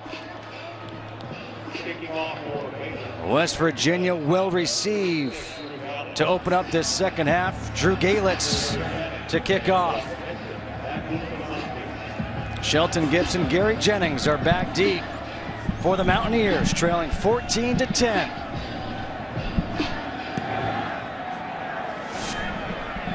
It's going to be Gibson from the four.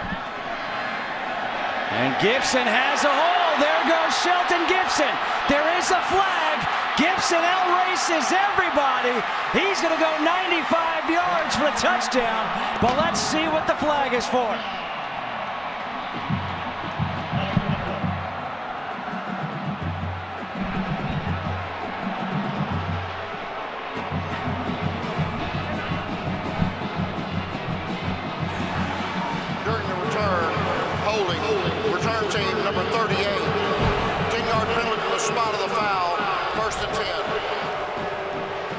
You can see the hole opening up for Gibson.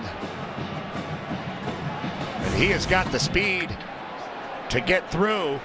I think the hold is right here in the middle of your screen. Yeah. And there was a jersey being pulled. Shane Commodore with the penalty.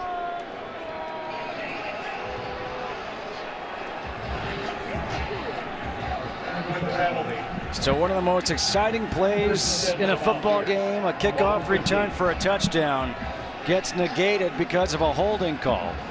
So instead of points on the board, it's now West Virginia ball at the 15-yard line. On first down, Skyler Howard completes the pass for five yards to Daikiel Shorts. Howard, 5 for 15 in that first half, 30 yards. Justin Crawford, 88 yards on the ground on 14 carries.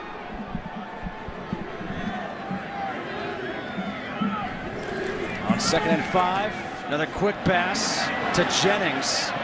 And Jennings diving forward across the 25, gets the first down. Travon Blanchard with a tackle. Jennings already been targeted a handful of times, only seven catches coming into this game, and that time West Virginia taking a page out of Baylor's scorebook. This time the handoff up the middle to Crawford. Avion Edwards, tackles him after a pickup of seven. If you see that something well, you might throw it right at him. That hitch play was one of those. Another handoff for Crawford, moving that pile. Up to the 38, gets six. Orion Stewart with his fourth tackle of the game.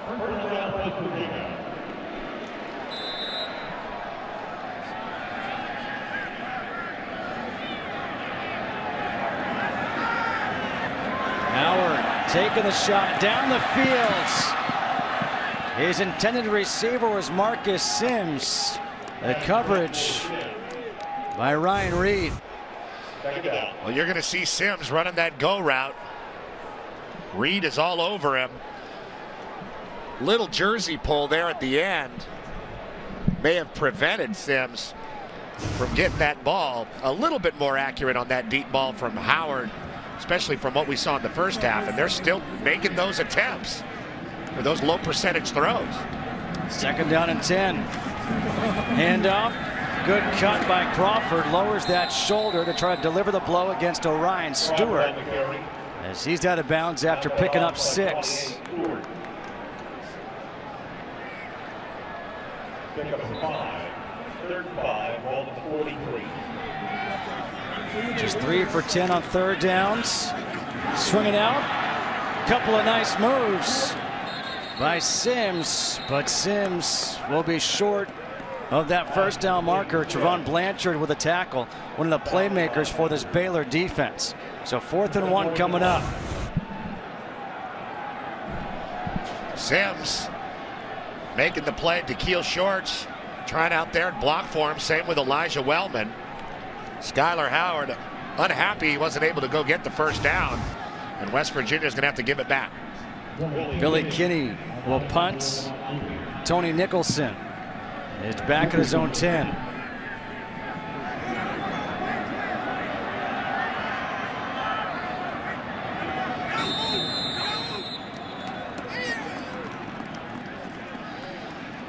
What the punt team there tried to do was get a shift and attempt to get Baylor to jump. Kicking team. Five yard penalty, fourth down. Bears did a good job of holding their water in there. They did not jump. Holgorsen will take the penalty and kick it away.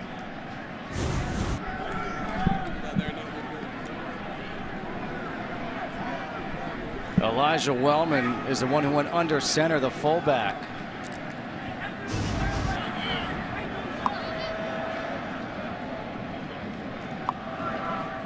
Worth a shot, right? It is if you have that shift play and you're right in the middle of the field. That's that's where you do it. Works in high school a whole lot.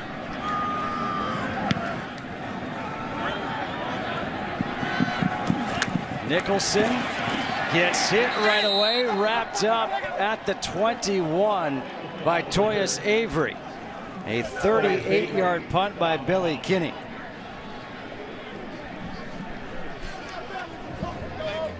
So think about this for West Virginia. They had that kickoff return for a touchdown negated by the holding call. The offense couldn't really move the ball too much, and now they give it off to Baylor and Zach Smith for the first time here in this third quarter.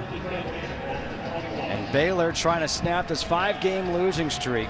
As you mentioned when we came back on, they didn't look great, but they hung in there, and they've got the lead now here at 14-10. Can Zach Smith make throws consistently to keep this offense going, along with the running of Terrence Williams? Shock Linwood is in at tailback. Zach Smith, his first pass is dropped by Zamora. Jared Harper was there on the coverage. The last four possessions for Baylor, a couple of touchdowns, a punt, that interception before the half when Smith took that shot down the field and was intercepted by Jeremy Tyler. And those were quick strike drives, especially the second touchdown. And, and, that's really the key for the Bears to get on the field and off the field on offense. This West Virginia defense pretty stout, though. Not easy to score quickly on. On second and 10, tipped, incomplete. The intended receiver was Jared Atkinson. Quick throw after the fake to Shock Linwood. And a great job by Christian Brown, who's been very active in this game, getting the hands up and reacting. Third and 10. West Virginia trying to force a three and out.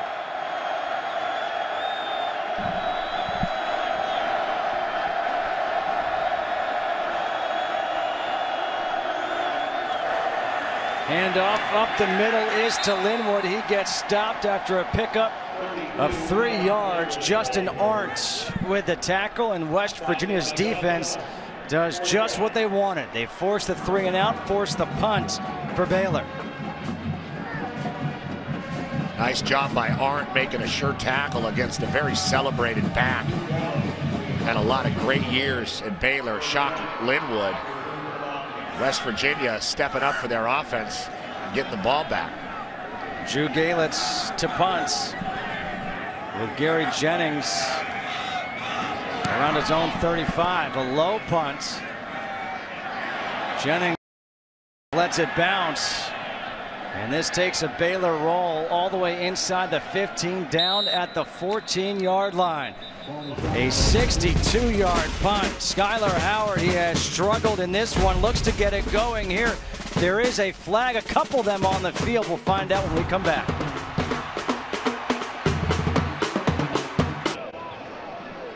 Back here in Morgantown, 14-10, Baylor leading West Virginia. It is senior day here at Milan Puskar Stadium. Skyler Howard before the game coming out, getting a big hug from his coach, Dana Holgorsen.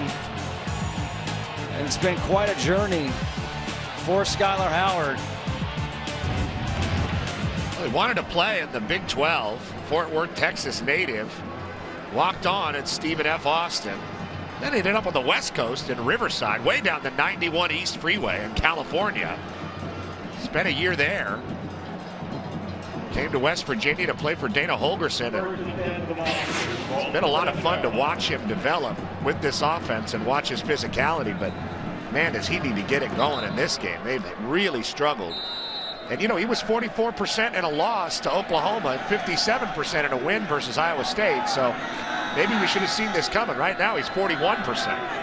West Virginia backed up at their own seven after a holds on the punt.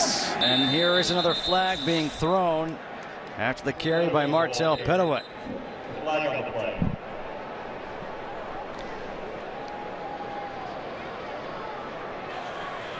Personal foul, face mask, defense, number four. 15-yard penalty from the end of the run, automatic, first down. That's against Grayland Arnold. There's Arnold with the hand. Easy call on the face mask. Stays on there for a long time on the freshman, Martell Pettaway. Now he's really in there trying to knock the ball out. But he got a handful of face mask instead.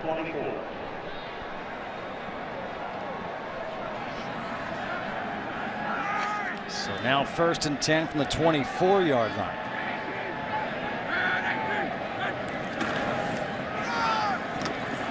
Pettaway again as they fake the reverse.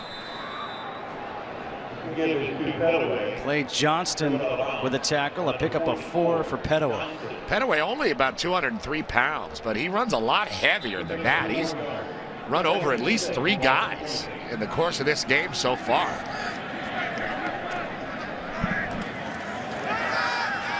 Howard with time.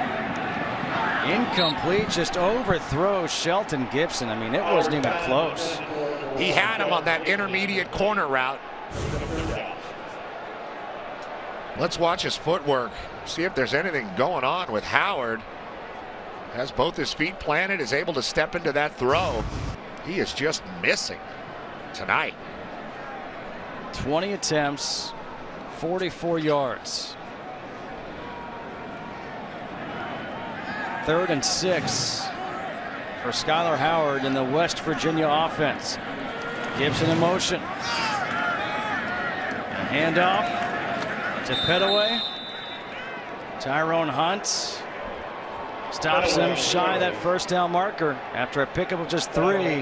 The offense comes off the field. It's still pretty stagnant for the Mountaineers. And a very conservative call there by Dana Holgorsen going with the freshman into the line of scrimmage on a third and long situation. But I think you just saw him there shrugging his shoulders saying, I'm, I'm not sure what to do. They're having a lot of trouble getting Skyler Howard settled down throwing the ball in this game. Billy Kinney on the punt. Low punt.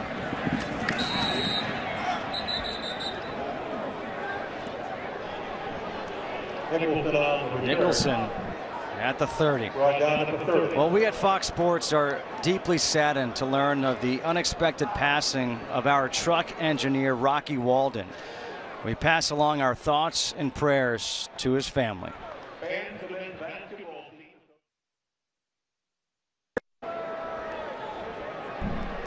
Still 14-10 here in the third quarter, 9.55 to go. Justin Kutcher alongside Petros Papadakis here from Milan Puskar Stadium, the final Big 12 game of the season. Congratulations to Oklahoma, who defeated Oklahoma State in Bedlam, the de facto Big 12 championship. And so they are the Big 12 champions this year. How about the stiff arm there by Ishmael Zamora. And Zamora gets 12 on that catch. Double hitches, and Zach Smith goes for the one all the way out there past the numbers to Ishmael Zamora. Physical run.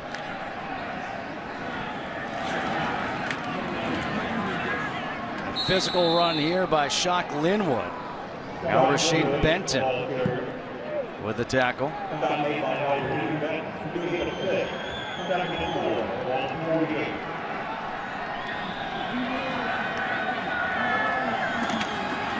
And off up the middle once again.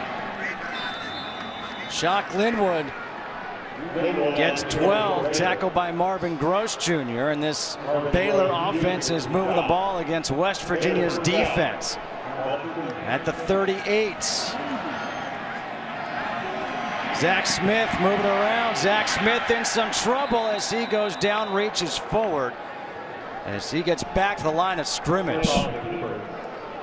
You know, we were talking about Shock Linwood, had a couple good runs there. A salty vet, 47 games played, 30 career starts, but he's given way to Terrence Williams. He's become a change of pace for him, who is longer and heavier than him. But Shock Linwood still has a future running the football. Shock Linwood had a huge game against Iowa State this year back on October 1st. 25 carries, 237 yards.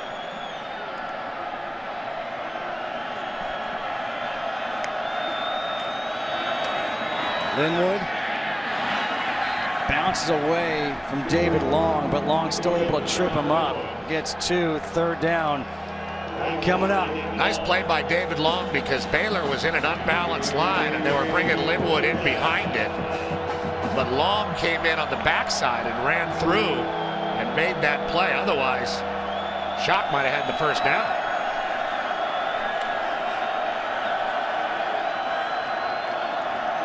Smith looks over towards the sideline. Baylor trying to make it four of eight on third downs in this game. Play clock down to two. Smith, pressure coming. He goes down. Sacked by Marvin Gross, who now has a sack and an interception on the day. Tony Gibson told us that after he dropped eight to confuse this young freshman a few times, he was going to bring some pressure from the edges to cause trouble for the young quarterback, and that's exactly what happened that time. Marvin Gross, the spur, timing up his blitz very well. Zach Smith never saw him by the time he felt him. It was too late. And a nice turnaround play, forcing a punt by the Mountaineers defense. Good call by Tony Gibson. Drew Galitz on to punt. Gary Jennings at his own 10.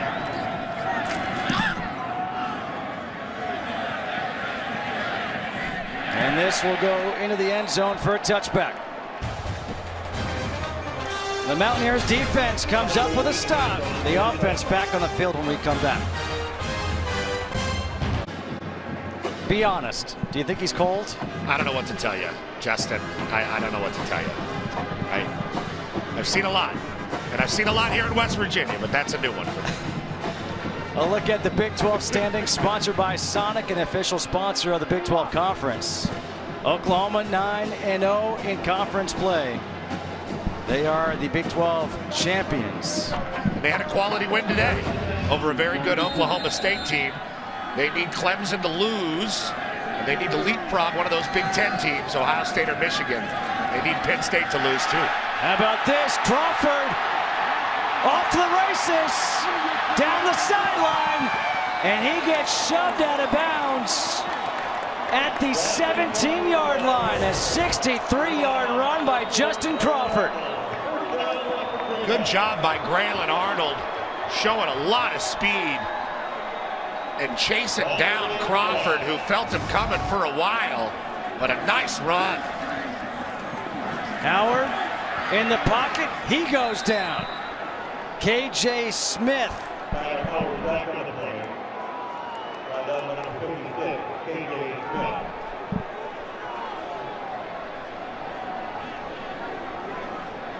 West Virginia trying to take advantage of the momentum and throw the ball with Skyler Howard down the field. KJ Smith has, has none of it, makes a sack. Crawford takes the handoff. Tyrone Hunt with a tackle. Crawford gets five yards.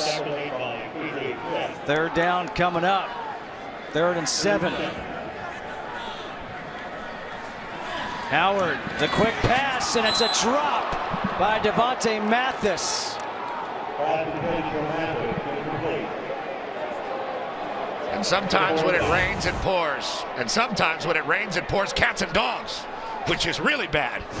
When you're struggling at quarterback and you're missing a lot of guys, and finally you have one right on the money, right at the sticks, and Devontae Mathis drops. A 31-yard field goal attempt here for Molina to make it a one-point game.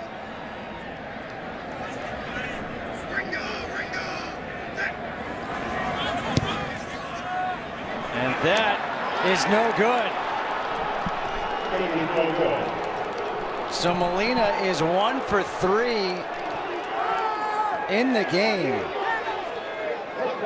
He has missed from 31 and 46 and made from 50. And the struggles continue. Dana Holgorsen can't believe what he's seeing. His team trails by four. Mike Molina is practicing on the sidelines as he missed his second field goal of the game. This last one from 31 yards. Baylor takes over at the 20.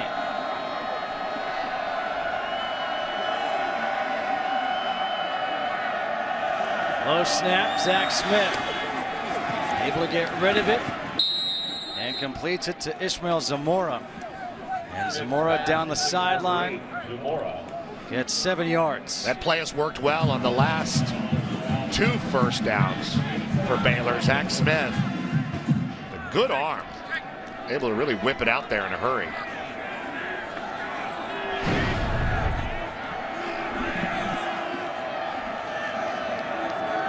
Second down and three.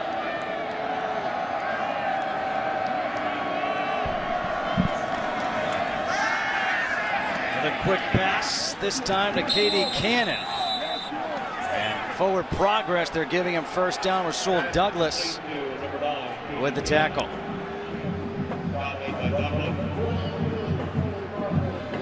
Zach Smith looked better and better and more confident throwing the intermediate stuff. He has the one home run ball to K.D. Cannon that came to fruition. It seems like he's playing with some confidence here in the second half. He really is. Stepping into his throws. Now 8 of 16 for 109 yards. And 377 last week. Hands off to Shock Linwood. And Linwood gets tackled by David Long and Justin Hart gets two yards.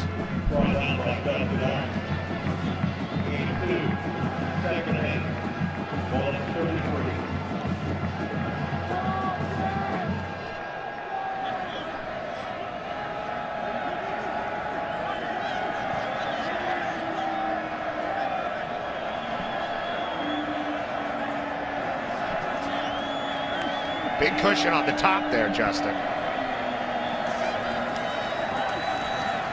Throws underneath, spinning away is Zamora.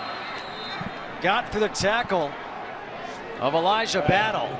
Yeah, there was just too much cushion in this situation. A guy like Zamora is going to be able to run a slant and see that all day. The freshman saw it too, Zach Smith. Well executed by the Bears. Handoff up the middle to Linwood. Darian Howard with a tackle, another pickup of two yards for Linwood. Let me ask this question. It's 14-10. The offense obviously hasn't been there. The quarterbacks haven't had great games. Is the weather at all a factor?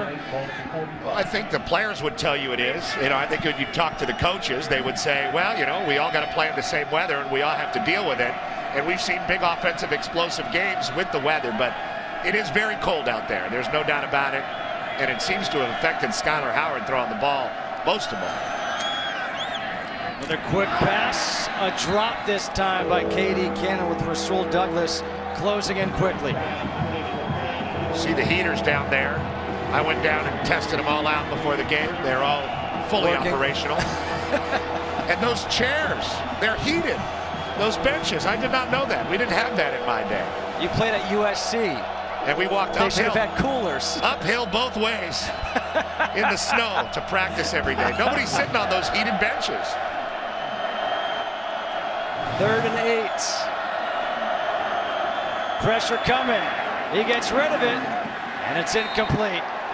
Ishmael Zamora, the intended receiver. Elijah Battle on the coverage, and Smith was getting pressure. It's David Long, number 11, that comes in and just saw Zach Smith in half there, causing the errant throw. The late pressure from the linebacker, forcing the punt. Another nice call. We'd be remiss if we didn't say Tony Gibson is having a great game, dialing up blitzes and dropping guys into coverage to mess with the quarterback. Tony Gibson has been a big reason for the success here at West Virginia.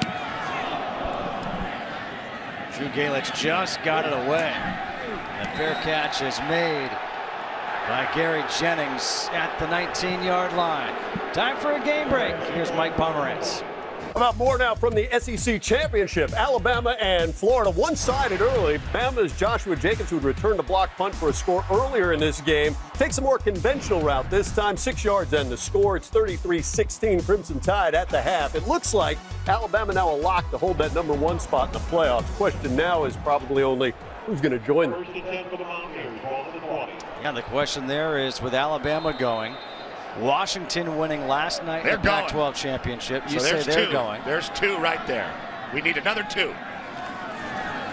Here on first down, it's Crawford. And Crawford able to slip a tackle and pick up a few extra yards, gets nine. Orion Stewart with his sixth tackle of the game. That's what you see from a more veteran back, a guy like Justin Crawford. He got out to the edge, but then immediately turned his pads downfield and got the necessary yardage, all that he could get. Howard completes the pass to Daikiel Shorts.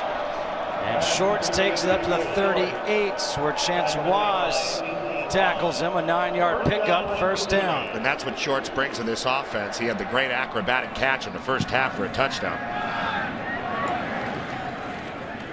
A run play after the pass play. It's Crawford, Crawford on the carry. Four yards. Greg Roberts with a stop. Greg Roberts. Stop for I thought it was interesting. Four. Second and What Jim Grobe told us about Greg Roberts is sometimes he's so aggressive he actually gets too far. And here's a shot down the field for Gibson, just off his fingertips as he lays out for it. Holgorsen still taking his shots, despite the fact that Skyler Howard has struggled.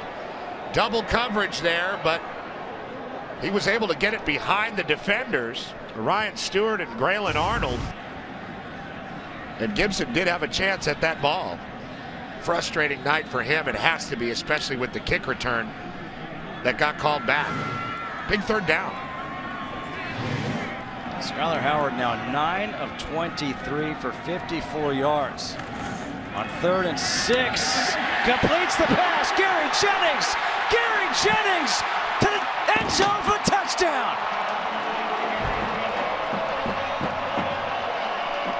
Fifty-eight yards, and just like that, West Virginia goes on top.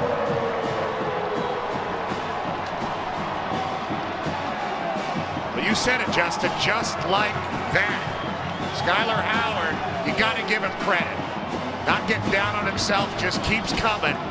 And that time throws a seed to Gary Jennings, who uses his speed and his length to finish the play. Molina on for the extra point.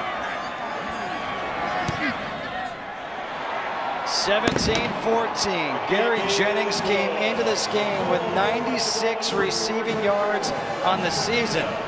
He got 58 on that one play. Skyler Howard throwing it with purpose. And that's about as on the money as you can get it. Orion Stewart is the guy that missed the tackle. Again, Gary Jennings only seven catches for under 100 yards coming into the year. Sophomore out of Stafford, Virginia, with a huge play right down the hash to give the Mountaineers the lead. It hasn't been pretty for either team, but right now West Virginia, as you said, you know, give credit to Skyler Howard, he's stuck with it. This Mountaineer team, they've stuck with it. And now they lead by three.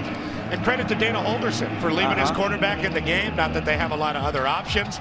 Continuing to throw the ball down the field, continuing to try to stretch the field with Shelton Gibson. And you get something intermediate to the house.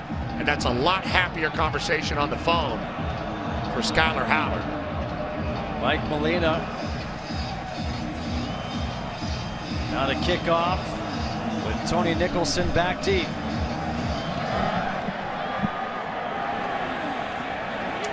Nicholson from the goal line. And flags come flying out as Nicholson gets tackled at the 19 yard line. Let's wait to see what all these flags are for. And the initial signal is it's going against Baylor.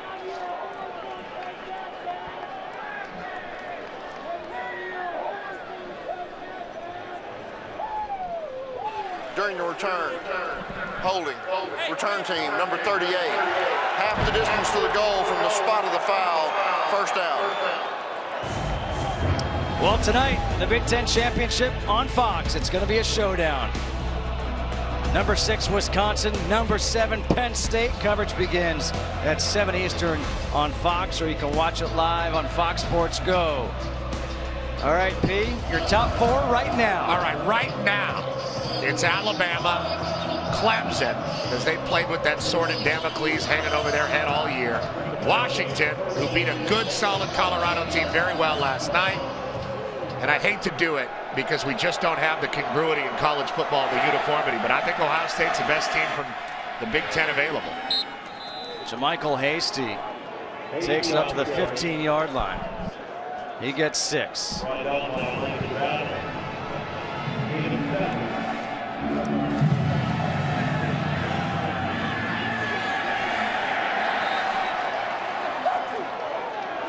Hasty again. Shuler and Arndt there for the tackle.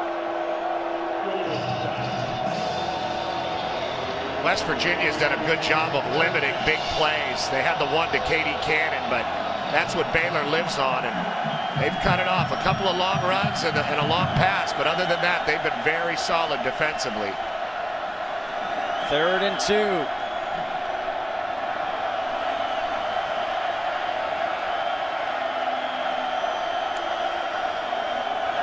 Pressure coming again. And it looks like the ball came loose. West Virginia recovered. Marvin Gross forced the fumble.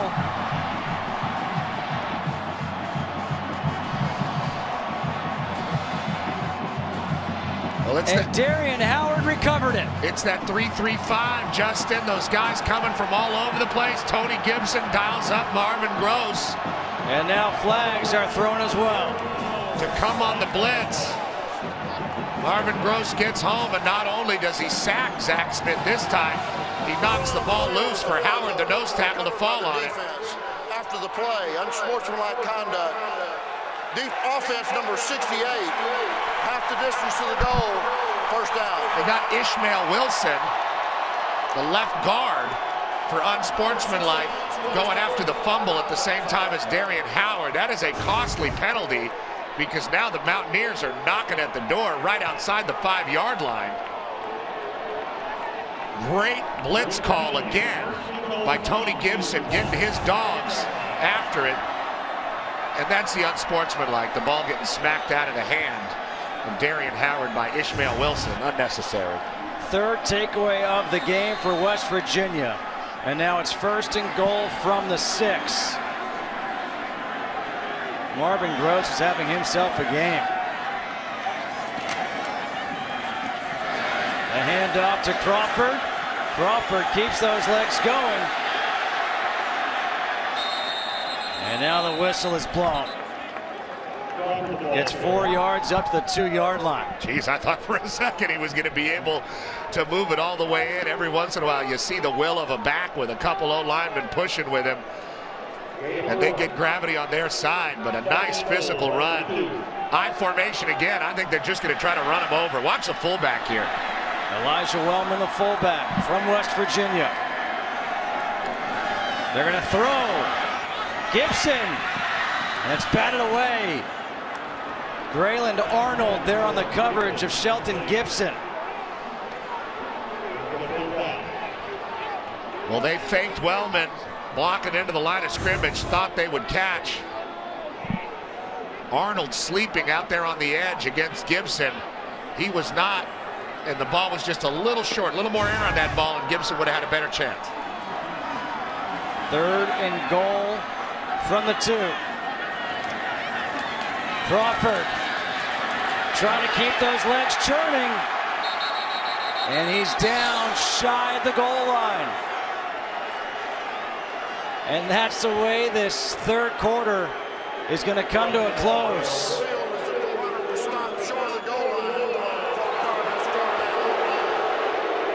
Well, Dana Holgorsen will have time to think about it. Fourth and goal when we come back. Crawford gets stopped short of the goal line, or does he?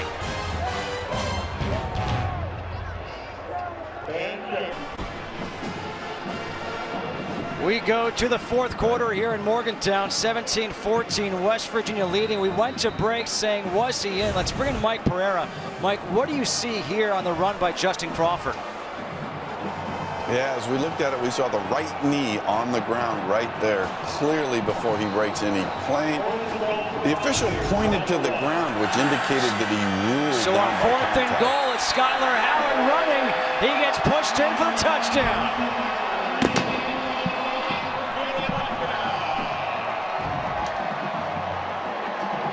Howard's going to get credit for the touchdown, but it was Elijah Wellman again with a big push on the back of his quarterback because the initial surge was not good enough.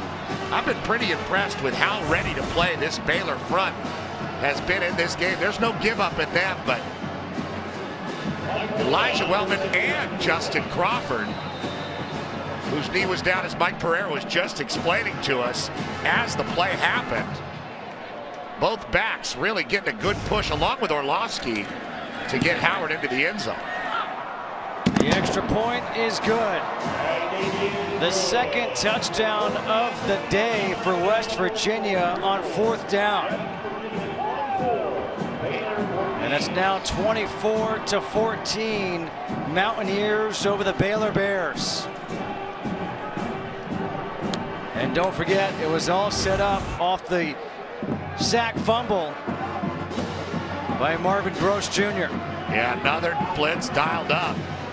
And that 3-3-5 by Tony Gibson. And this time, unlike the last turnover they forced, West Virginia able to capitalize, and not just with three, seven. 21 unanswered points now for the Mountaineers. Couple of touchdowns in the last two minutes and seven seconds. And now Mike Molina will kick off once again for West Virginia. And I'll tell you, Justin, for a team that won six straight to begin the year and was ranked number eight, and now has lost five straight since then, Baylor's proven a lot of desire today so far. Yeah. I mean, the last four Baylor losses have been by 21 points or more. And here they are. We'll see if they can answer here now, down 10 in the cold in the fourth quarter. Tony Nicholson will let this one go into the end zone, and Baylor will start at the 25. You know, you think about this Baylor season, and you mentioned how they got off to the good start, 6 and 0, how they were ranked eighth in the country. And then for Baylor, they had the tough loss at Texas 35-34 and that seemed to be like that domino and there were so much off-field issues that once that first domino fell it just steamrolled. It's been a very tough job for Coach Grobe. Keep everybody together, keep everybody positive because the future is very uncertain in Waco. There's no doubt about it. He knew that it was only a year deal for him really an eight-month commitment is what he and his wife saw it as. And they've had a wonderful experience, they say, with the people of Baylor University. On first down. The handoff to JaMycal Hasty. Gets five. the ball carrier. I mean, Jim Grobe said the people in Waco are some of the nicest people he's ever encountered in his life. Smith down the sideline. And he completes that pass to Chris Platt, who makes the acrobatic catch. Well, they told us Zach Smith had arm talent. This is the definition of that. Right on the money. 38 yards, and they're going fast. Smith to the end zone. Incomplete, no flag on the play. KD Cannon, the intended receiver. Rasul Douglas there on the coverage. You don't want to test that guy too much. Rasul Douglas out of East Orange, New Jersey. Eight picks on the year. Almost got another one here. He does a good job of recovering because Cannon was open for a second. Not a bad throw by Smith. Douglas able to get his hands in there. Douglas has an interception in four consecutive games. On second down, the handoff to Hasty. Not much room to go, gets a couple yards just beyond the 30. Tony Gibson, third year as the defensive coordinator here for the Mountaineers. And he calls his guys his dogs. He's got the playing. They all get t-shirts that say dogs on it too. For some reason, people in America love t-shirts. You give you give somebody a t-shirt and they'll perform for you. That's their secret. They make a t-shirt every couple weeks. Third down and eight. High throw, incomplete through the hands of KD Cannon. With the ball at the 30 yard line. Fourth and eight. There's KD Cannon coming out of his break. Great athlete, but even that one was a little too high for him. Keeping the offense on the field, going forward here on fourth and eight from the 30, down by 10.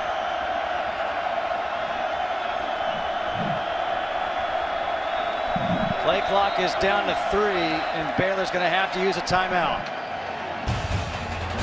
A timeout here, we'll take one as well. Fourth and eight coming up for the Baylor Bears.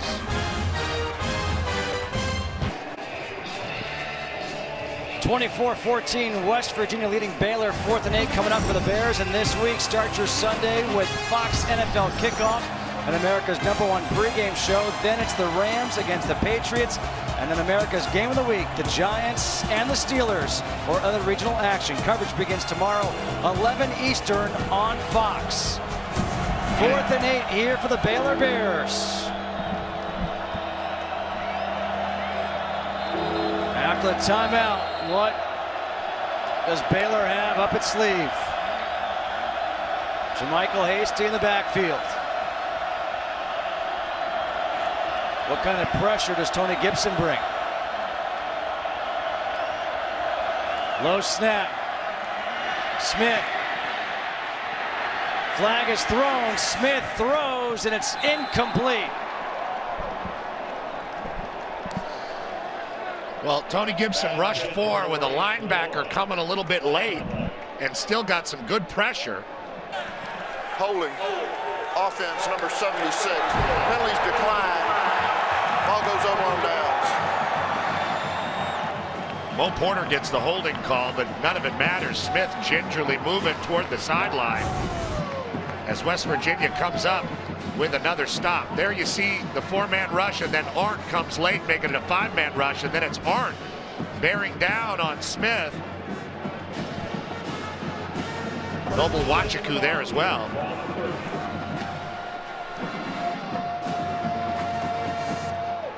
And don't forget, Baylor is playing with Zach Smith because Seth Russell is out after injuring his ankle against Oklahoma. And now Skyler Howard keeps it on the quarterback run, and he gets eight yards. Taylor Young with a tackle. This Big hit. tackle. Yeah, big hit by Taylor Young. And you were talking about Seth Russell. I mean, that's what he brought mm-hmm. to that Baylor offense. He, he could throw it well, too, but he was a great runner for them. Speaking of a great runner, Justin Crawford. Joe Wickline, the offensive coordinator for West Virginia, when talking about Justin Crawford, he said you just go, wow. He's got that wow factor. His body's alive, so he's got a suddenness to his body. He's got over 200 yards and now over 1,000 for the season. He's at 203 on the day. Now turning into the nighttime here in Morgantown. It's Crawford again. This time he gets met at the line by KJ Smith. With the no gain on first down, we'll see what happens for the rest of this series. But Justin, you were talking about it in the first half, how Dana Holgorsen says he's a different coach than he was when he started here in West Virginia. This fourth quarter could be an example of that. You're going to watch his team maybe eat some clock here, try to grind it out. At least they have at the beginning of this drive. This was something that was very difficult for Dana to do when he was a younger coach. Yeah, I mean, and, and just look at what they've done in the run game under Holgorsen. Howard gets hit in the backfield by KJ Smith. He's going to lose a yard. But we mentioned that 2013 season as the turning point for Dana Holgorsen. That's when he was 4 and 8. And he said, you know what? That's when I looked in the mirror and said, I got to change something. And they did. They changed their offensive approach. They changed their defensive approach. Howard with pressure coming, throws towards the sideline, dangerous ball. Because over there was Grayland Arnold covering Shelton Gibson. And Arnold almost picked it off. Patrick Levels with some good pressure on Howard late. He just kind of flips it out there without really mm. surveying it. Lucky it didn't get picked. And you have to give this Baylor defense a lot of credit. They looked gassed earlier in that drive, and they're able to bow up, make two stops in the run game for Phil Bennett, and force a fourth down. Billy Kinney on to punt once again with Tony Nicholson.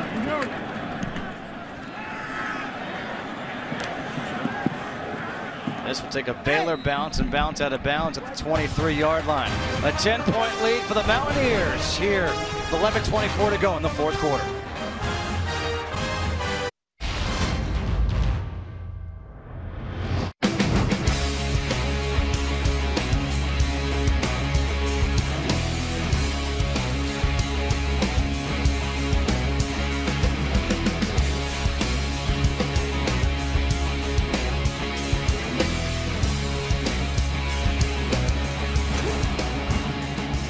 21 unanswered points by the Mountaineers, and they lead 24 to 14. Dana Holgorsen with his quarterback Skyler Howard, as his defense is now on the field against this Baylor offense.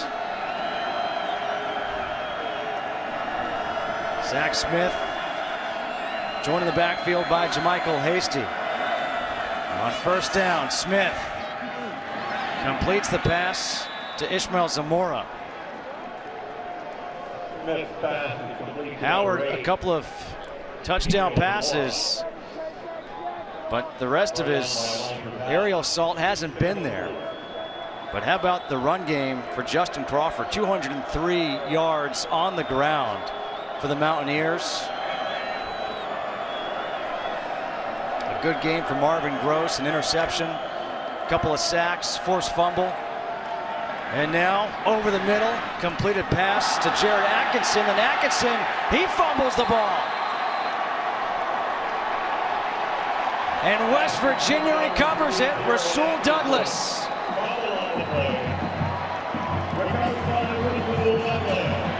So Rasul Douglas doesn't have an interception, but he gets a fumble recovery. Jared Atkinson got by Elijah Battle. The ball was right on target, and he was there. But then a really nice forced fumble by Battle. Comes in and makes the play. Ooh, was that knee down? That right knee could have been down before the ball was dislodged.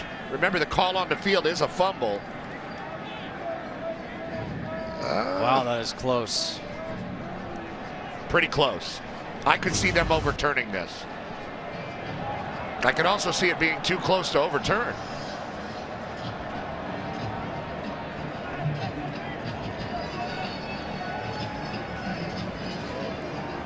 Let's bring in Mike Pereira once again from LA. Mike, we're keeping you busy here today.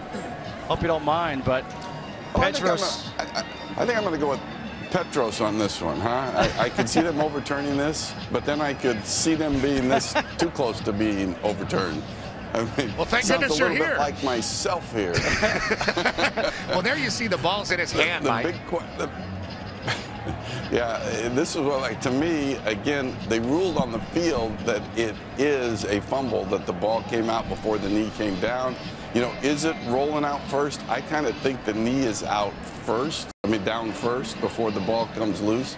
So if I was the uh, replay official, I think I'd look and say, look at the ball doesn't pop out. So I'd actually put it as catching down by uh, catching down. Of course, I always try to say catching down by contact. We know that doesn't apply at the, in college football, but um, it's just being down. By the way, Mike, After I, reviewing here the play, the runner's right knee was down prior to the ball coming out. It'll be first and 10 at the 48-yard line. Police set the clock to 10:48. 10:48. Couple of just gonna wafflers were right, huh? Yeah, I, and I was just going to comment that I like Mike's three-piece suit. Oh, he always looks good. Yeah, He looks good in there. he does. You think it's you think it's cold here in West Virginia? You should go into Pereira's little box. It's like the seventh circle of hell. It's so cold. Thanks, Mike. You got it right yet again. Always appreciate it. It's a 20-yard completion. He completion hedged it. to Jared Atkinson. Well, he did say he would turn, he would overturn it. I don't know. I gotta check the tape.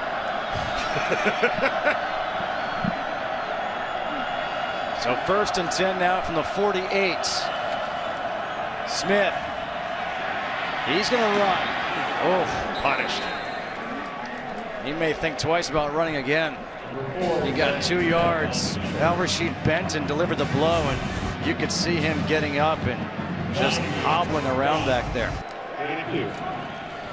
82. Hand off to Hasty, and Hasty gets chased down from behind by David Long. No gain on the play. Third and eight coming up. David Long's done a good job of having some delayed blitzes and chasing plays down for the backside. Smith, he will run again. He has a block, and Smith, he gets the yardage for the first down. Justin Arndt finally chases him down. And again, watch him hobble back towards the line. Freshman showing a lot of heart here. 6'4", 235, trying to move that body where he's not right in the legs. Obviously, lurching forward for the first down. The way he's moving right there, he didn't look like an 18, 19 year old kid.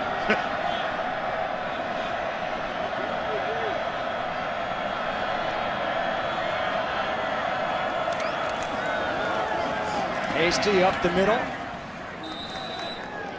Up to the 32 yard line, gets six. 80. JaMycal Hasty came in averaging 5.3 yards per carry. They've used a lot of backs. He's got 100 carries on the year. Able to get a couple more yards, setting up third and short. Christian Brown has had a good game as his fourth tackle. And now third and two coming up. 8.50 to go, a 10-point game. They're thinking about this Baylor offense. They just need points here. Whether it's a field goal or a touchdown, you just need points.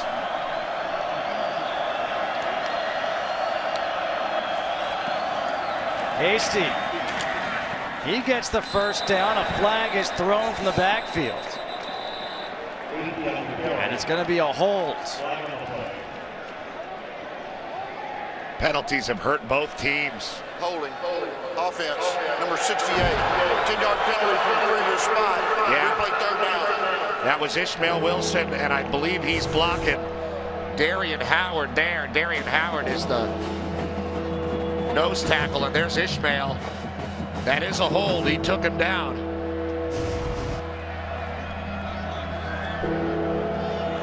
So instead of a first down, you now go to third and 12.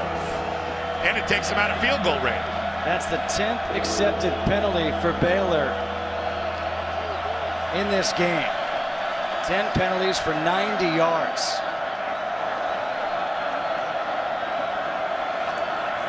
Hasty, not much room to run. And he gets gang tackled at the 38 yard line. He gets two. Well, this is going to be four down territory. Big penetration on that play by Noble Nwachukwu that really blew it up. I think Coach Grobe and Kendal Briles were hoping for a little bit more of a game there so they would have a more manageable fourth down. And I think you like saying Noble Nwachukwu. I do. Fourth and 10.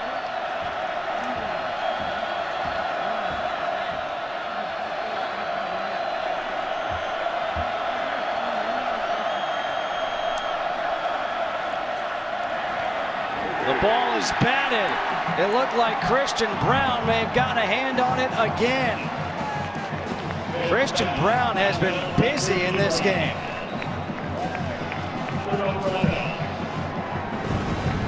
A turnover on downs after that penalty. It is Christian Brown. It's still a 10-point lead for West Virginia.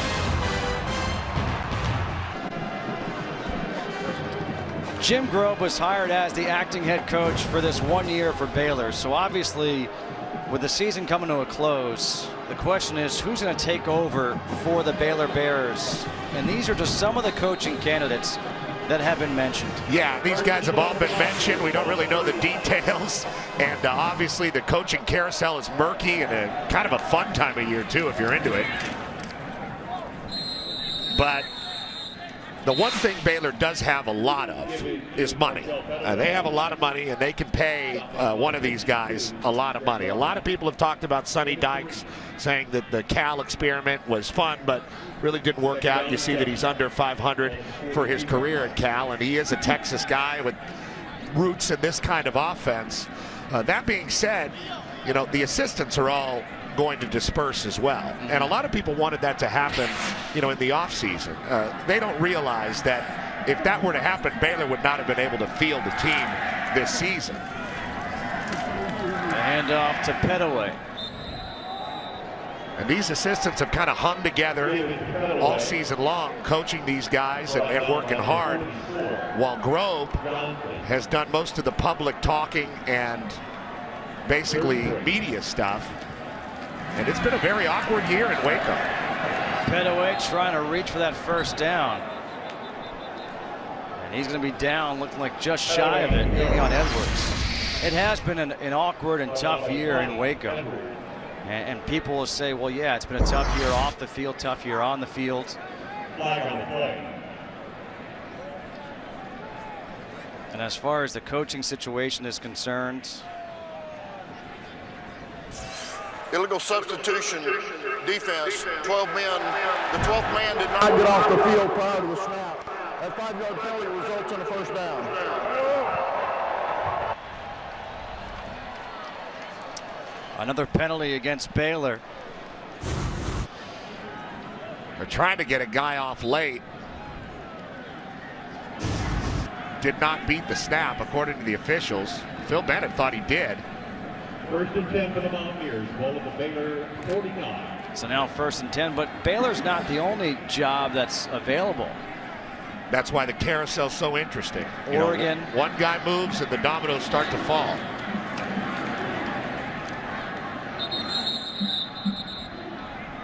Houston is available.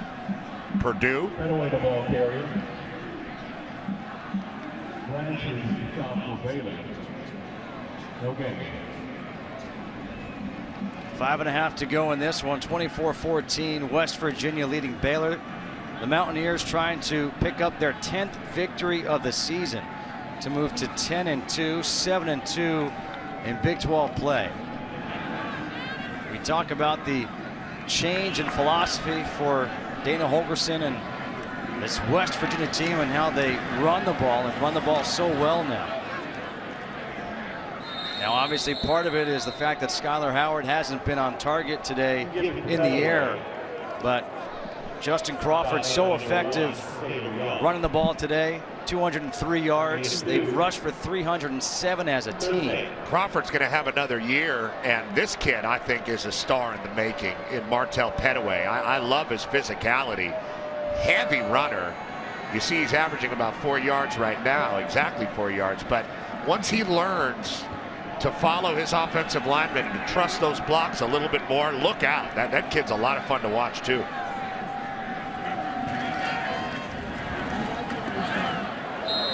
Pettaway gets sent backwards. Taylor Young, who's made an impact in his return to the lineup for Baylor. Second time out of the half.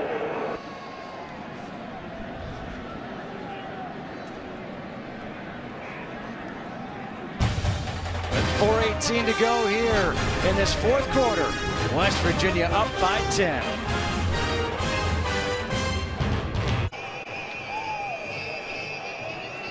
Twenty-four fourteen, number 16, West Virginia leading Baylor. Justin Kutcher alongside Petros Papadakis back here at Milan Puskar Stadium.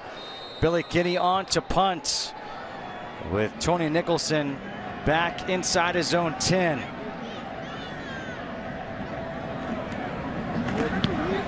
Baylor brought some pressure.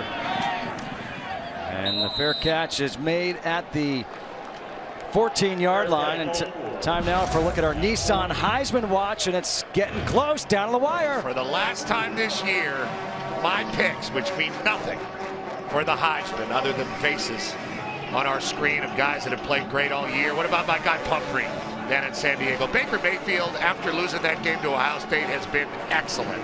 I love Peppers in the Charles Woodson style in Michigan. And there he is, Lamar. He's had too much of a year for me to keep him off the list. He's done too well and stayed healthy all year despite taking an enormous amount of hits. What a statistical masterpiece Lamar Jackson put together in Louisville. You know, it's it's kind of rare for a guy to surprise people in week one of a season and put his name in the hat for a Heisman Trophy and then kind of take it, never really trail. I remember Dennis Dixon having a year like that at Oregon mm -hmm. where he just couldn't be stopped and then toward the end of the year he did his knee at Arizona and that was that and I, I thought that was coming for Jackson just with so much punishment but man did he get through it.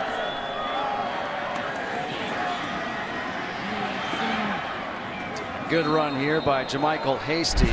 Jared Harper with a tackle. Well, Petros, this is obviously our last game together this year as this is the final game of the season for us here on this 2016 college football season. And we're very lucky to work with a great bunch of people. And each week we try to let you know who our producer and directors are. And our producer, Kevin Patterson, our director, Mitch Riggin. We've been with these guys all year. Our associate directors that we've had throughout the year, Andy Kavner, Andy Kavanaugh, Gilbert Cepeda. This week, Brad Bartle. Our broadcast associate, Trevor Hayes. Computer stats, Anthony Papadakis, Casey Garland this week. But we've also had guys who, camera people, oh, yeah. guys in the truck who, who have done an incredible job throughout the year who travel with us week after week.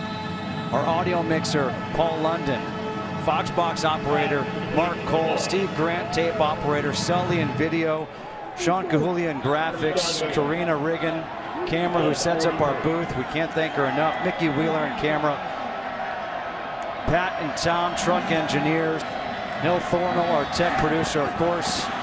A touchdown here for Ishmael Zamora to make it a 24 to 20 game. Now 43 yard touchdown pass as Zach Smith is hobbling down there. Smith showing a lot of courage. I mean, he is beat up and he is threading the needle with some of these throws. That's Elijah Battle behind Ishmael Zamora. Makes a great play on the ball.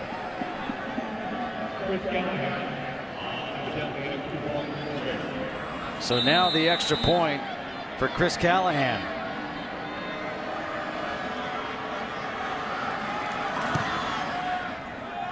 And it's a three-point game with 2.40 to go.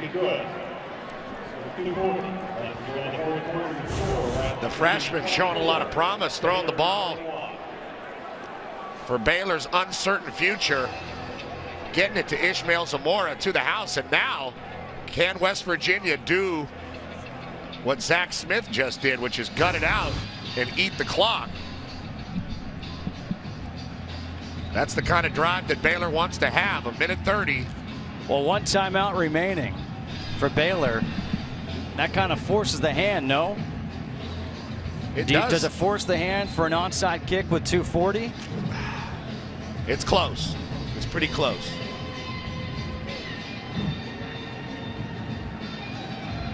I think you got to do it. I think you got to make the onside kick and see what happens from there with only the one timeout. Their offense just waited a little too long to come to life to try to do this at the end of the game conventionally.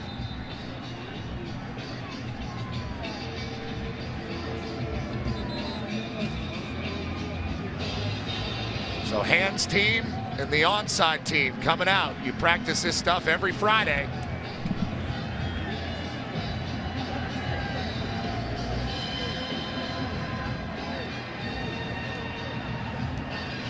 It'll be Drew Galitz to try to pull it off.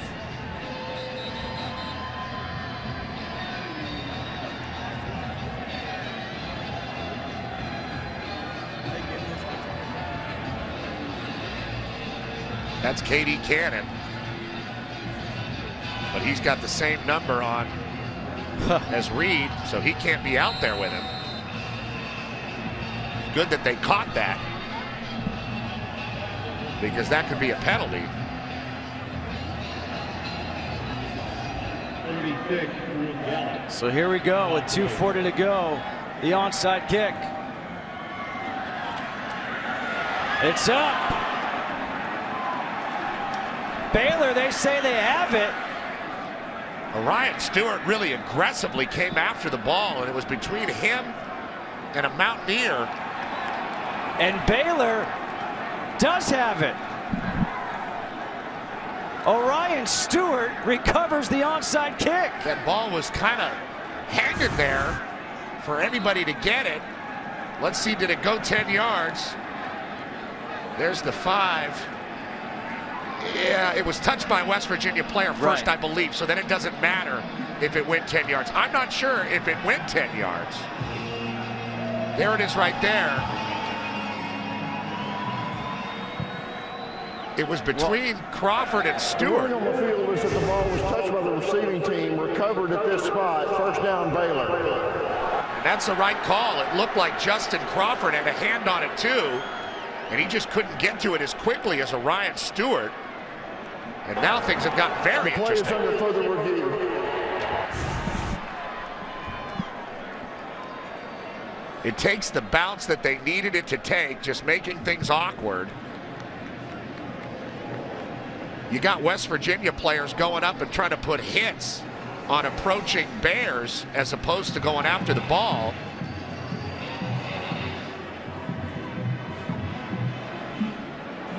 Wellman never gets a chance at the ball. He gets hit, and Crawford comes across to try to get it, but can't do it. All right, so we brought Mike Pereira in a couple times. We'll bring him in once again. Mike, take us through what you're looking at on this play. Well, we were looking at 22 first, and then we think actually 25 touches it actually before 28 does. So I think they'll stay with this call on the field since it's touched. Petros made note of it that it didn't go 10 yards, but it's touched first by the receiving team. We think number 25. You'll see it coming up here. So very close as to who touches it first, but I think they'll stay with uh, Baylor ending up with the ball at the end of the play. Justin Crawford's number 25 for West Virginia. Orion Stewart, number 28 for Baylor. and Crawford had a beat on that ball. Orion just came over the top of him and snatched it away.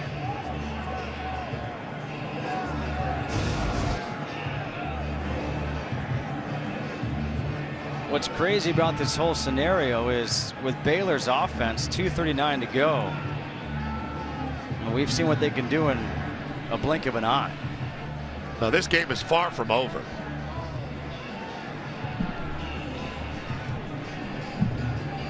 And for those of you tuning in for the Ultimate Fighter finale pre-fight show, we'll get you there at the immediate conclusion of our game. In the meantime, if you're looking for that show, it is available on FS2 and streaming live on Fox Sports Go.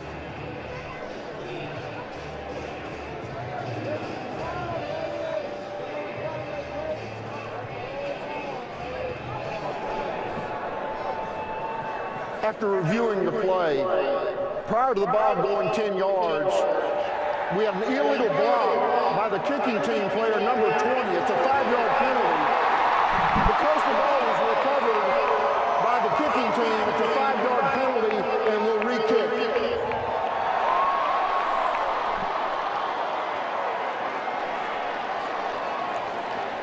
Did you say that? I did. Well, why didn't you tell me? Illegal block, they say. Phil Bennett is past the numbers. Mike, let's let's bring it back in.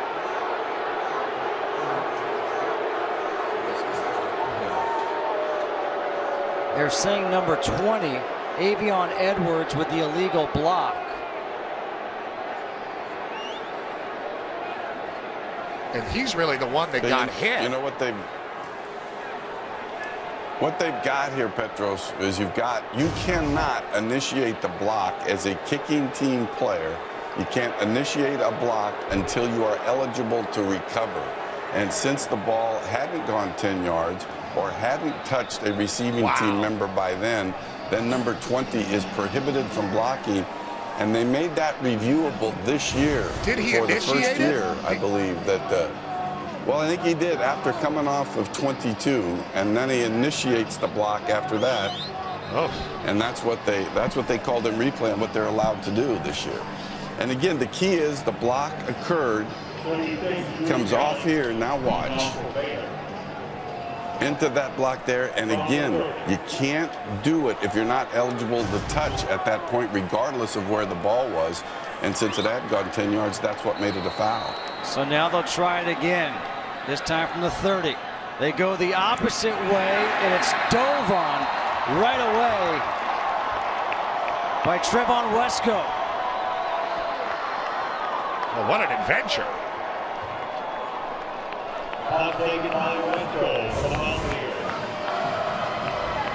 There he is, trying with the deke opposite move. They don't get the fortuitous bounce. And the local guy out of Martinsburg, West Virginia, Trevon Wesco, with the big play. Very interesting that that play that the blocks became reviewable. Yeah. And that they could look at that in the booth. There was contact initiated before the ball was touched. And by the letter of the law, they made the right call. One timeout remaining for Baylor. A handoff to Crawford.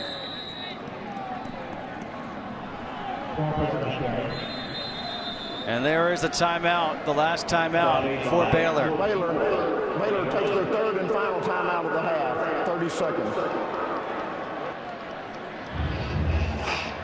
Please set the game clock to So here in this second half,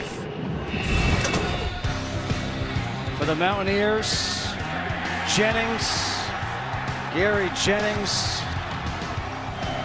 with a huge touchdown. Marvin Gross Jr., the sack fumble, and Skyler Howard punched it in. And then back the other way, Ishmael Zamora, the touchdown to make it a three-point game. We thought an onside kick recovery. We were wondering, as they're looking at the play, were they looking at the play to see if who touched the ball first? It turns out when they were looking at it, they saw an illegal block, so they had to re-kick it. And when they kicked again, West Virginia was able to recover.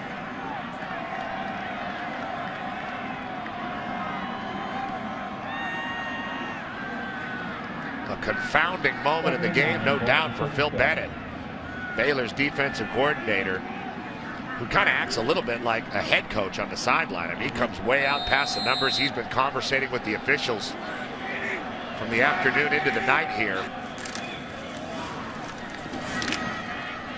Handoff once again to Crawford. Baylor cannot stop the clock now. Four yard run for Crawford. Third and five coming up. Get a first down here. And West Virginia will have their 10th victory of the year.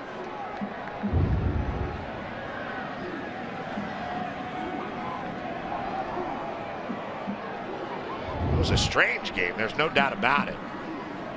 A lot of calls, a lot of reviews. It's only fitting that the first game of the year that we had was the Central Michigan Oklahoma State game. Yeah, that ended even more controversial than this one could ever. And now they'll take the timeout with that play clock winding down. And now for the final game of the year, we have this strange game. 30 seconds. Again, for those of you tuning in for the Ultimate Fighter finale pre-fight show, we'll get you there at the immediate conclusion of our game. In the meantime, if you are looking for that show, it is available on FS2 and streaming live on Fox Sports Go.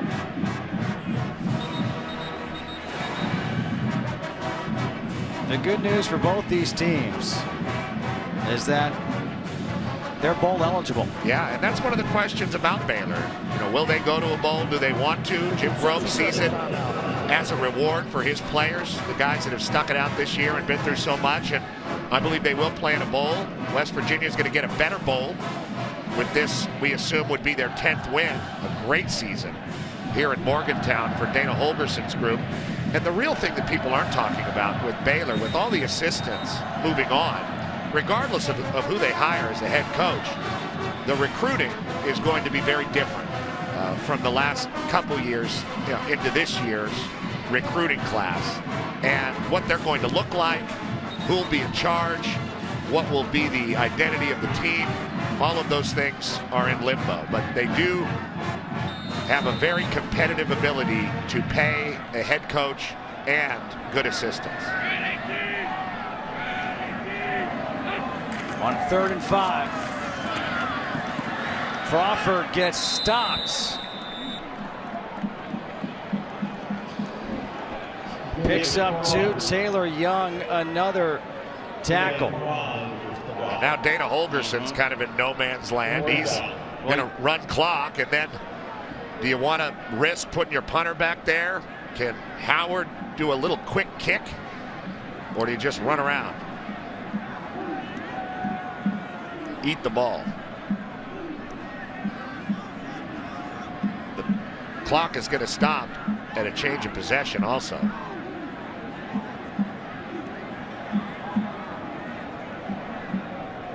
They're they're going to take a delay of game instead of taking the timeout. Delay of game, offense. Which five-yard penalty. Kind of tells down. you what their game plan is. Correction, the, the penalties decline. Fourth down.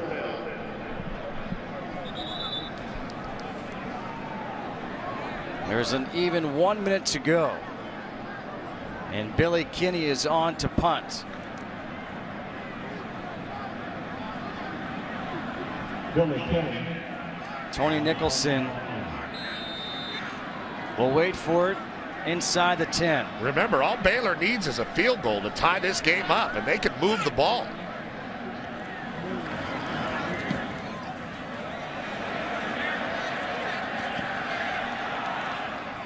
This will be a touchback.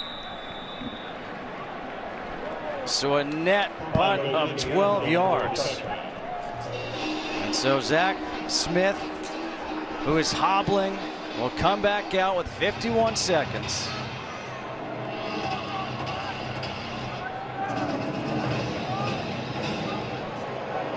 And this game isn't over yet. As you said, all they need is a time is, is a field goal. They don't have any timeouts remaining. 15 of 29, 244, two touchdowns, two interceptions. And now you wonder how aggressive do you be if you're Tony Gibson? Well, Zach Smith is hobbling. That should tell you maybe you should be a little more aggressive than you would have been because of the way Smith is moving around right now. The Mountaineers led by 10 with under three minutes to go. Please set the game clock to 53 seconds. 5-3. They'll reset the game clock to 53 seconds.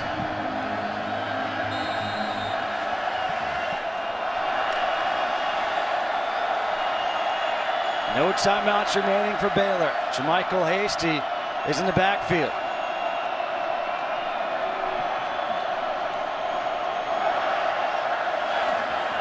Quick pass, and it's incomplete to KD Cannon. Dangerous pass, but it looked like if Cannon had come up with it, he might have been able to turn upfield and gotten some positive yardage.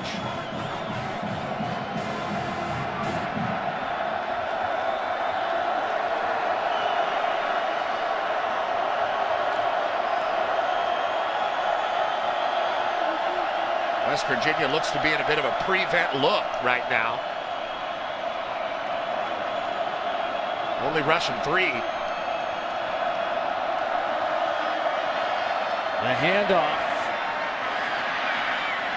Hasty stays on his feet, gets out of bounds, gets the first down out of bounds at the 37, picks up 17. Pretty brilliant call there by Kendal Briles with the three guys rushing. You know there's going to be a hole for the back, and maybe he can create a little bit, and he does. Smith steps up, throws, and that's batted away by Marvin Gross Jr. Once again, KD Cannon, the intended receiver. Like you said, Justin, Gross has had a heck of a game. Here he is on their best receiver.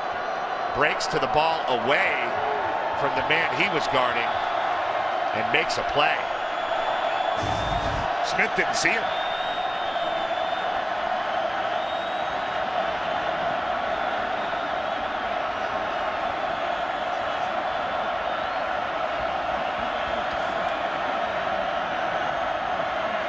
Smith has it stripped from behind. Loose on the ground. Darian Howard recovers his second fumble. There is a flag on the field.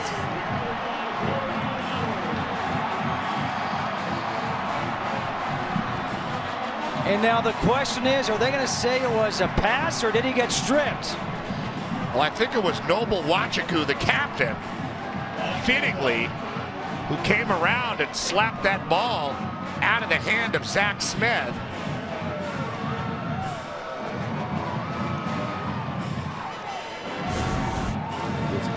They might say it was an illegal forward pass because it, it could have been caught by the guard there, Ishmael Wilson. He didn't catch it. The ruling on the field is that number 68 picked the ball up and threw it forward illegally. Oh, it's an illegal forward pass. It's an incomplete illegal forward pass. It requires a 10-second runoff. Please set the game clock to 17 seconds. Baylor retains the ball. What a trip. Okay, they're saying it's a fumble caused by Nwachukwu. Ishmael Wilson picks it up and then like just kind of shoved it forward like a hot potato. That's illegal.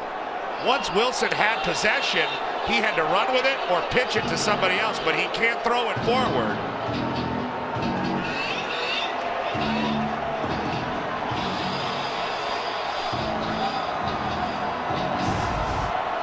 But it gives Baylor another opportunity with the ball. So Baylor keeps possession, a 10-second runoff. The previous play is under further review.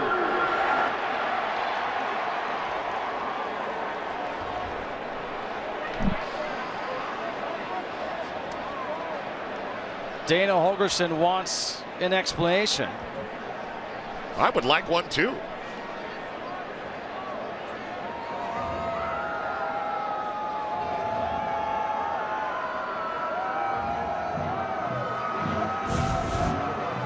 Let's bring in Mike Pereira. Mike, if you can explain what we just saw in more detail, that would be helpful. I'm not so sure I can explain anything about this game. I think the, you have a you have a couple things to look at. First of all, the quarterback pass fumble with Smith, that's a clear fumble. Uh-huh. Now, the question with number 68 is does he actually get possession of this ball? Because if you call this, if you call this a pass, he has to get total control and then throw the ball forward. Is the ball loose and therefore just a possibility of a bat? Um, which really isn't in review in replay isn't reviewable. Um, the act of illegal batting. So I think they're basically down to just saying, did 68 end up with control of the ball? If he did not, if he did not, then the ball will go over to West Virginia at that spot. I, I kind of don't think he has total control of the ball but he does shove it forward. It's only typical that this game would end in some fashion like this. never possessed the ball. Therefore, it's a fumble recovered by West Virginia. With Gilbile first down at the spot of the recovery. We set the clock back to 27 seconds. 2-7. And that's why there's nobody better in the business than Mike Pereira. Thank you, Mike. And that makes Dana Holgorsen very happy. And that is a fourth turnover of the game. And yep. 10 wins is not easy. 10 wins is hard for any coach at any team. You see the disappointment on the other sideline from Coach Grobe, but congratulations to the Mountaineers. It wasn't easy tonight was not pretty. And there's Tony Gibson, the man that was hired a few years ago, really changed the identity and the fortunes of this Mountaineer team. Give them credit. What a year they've had. They fought through a lot of their own adversity today to pull off a victory. Like you said, it wasn't pretty, but it is a win. And it's their 10th win of the season as they defeat Baylor 24 to 21. Four turnovers for the Baylor Bears. Turnovers hurt them once again. A game that was interesting to say the least. But Dana Holgorsen, his second 10-win season as the head coach of the West Virginia Mountaineers. Skyler Howard on senior night didn't have his best game, but he gets a W, and that's all anybody really cares about. With a crazy year in the Big 12, it was really West Virginia after Oklahoma and Oklahoma State stumbled early that was carrying the expectations of the conference. They ended up losing to both the Oklahoma schools, but that's really the only blemish on their year. What a year and an unexpected year for the Mountaineers. Once again, the play that essentially ended it. That strip, never had possession. Dana Holgorsen after the reverse. There you go. Time to celebrate. Well, for all of us here in Morgantown, for my broadcast partner, Petros Papadakis, I'm Justin Kutcher saying so long from here. Coming up back to the short break, we'll get you out to the Ultimate Fighter finale pre-fight show.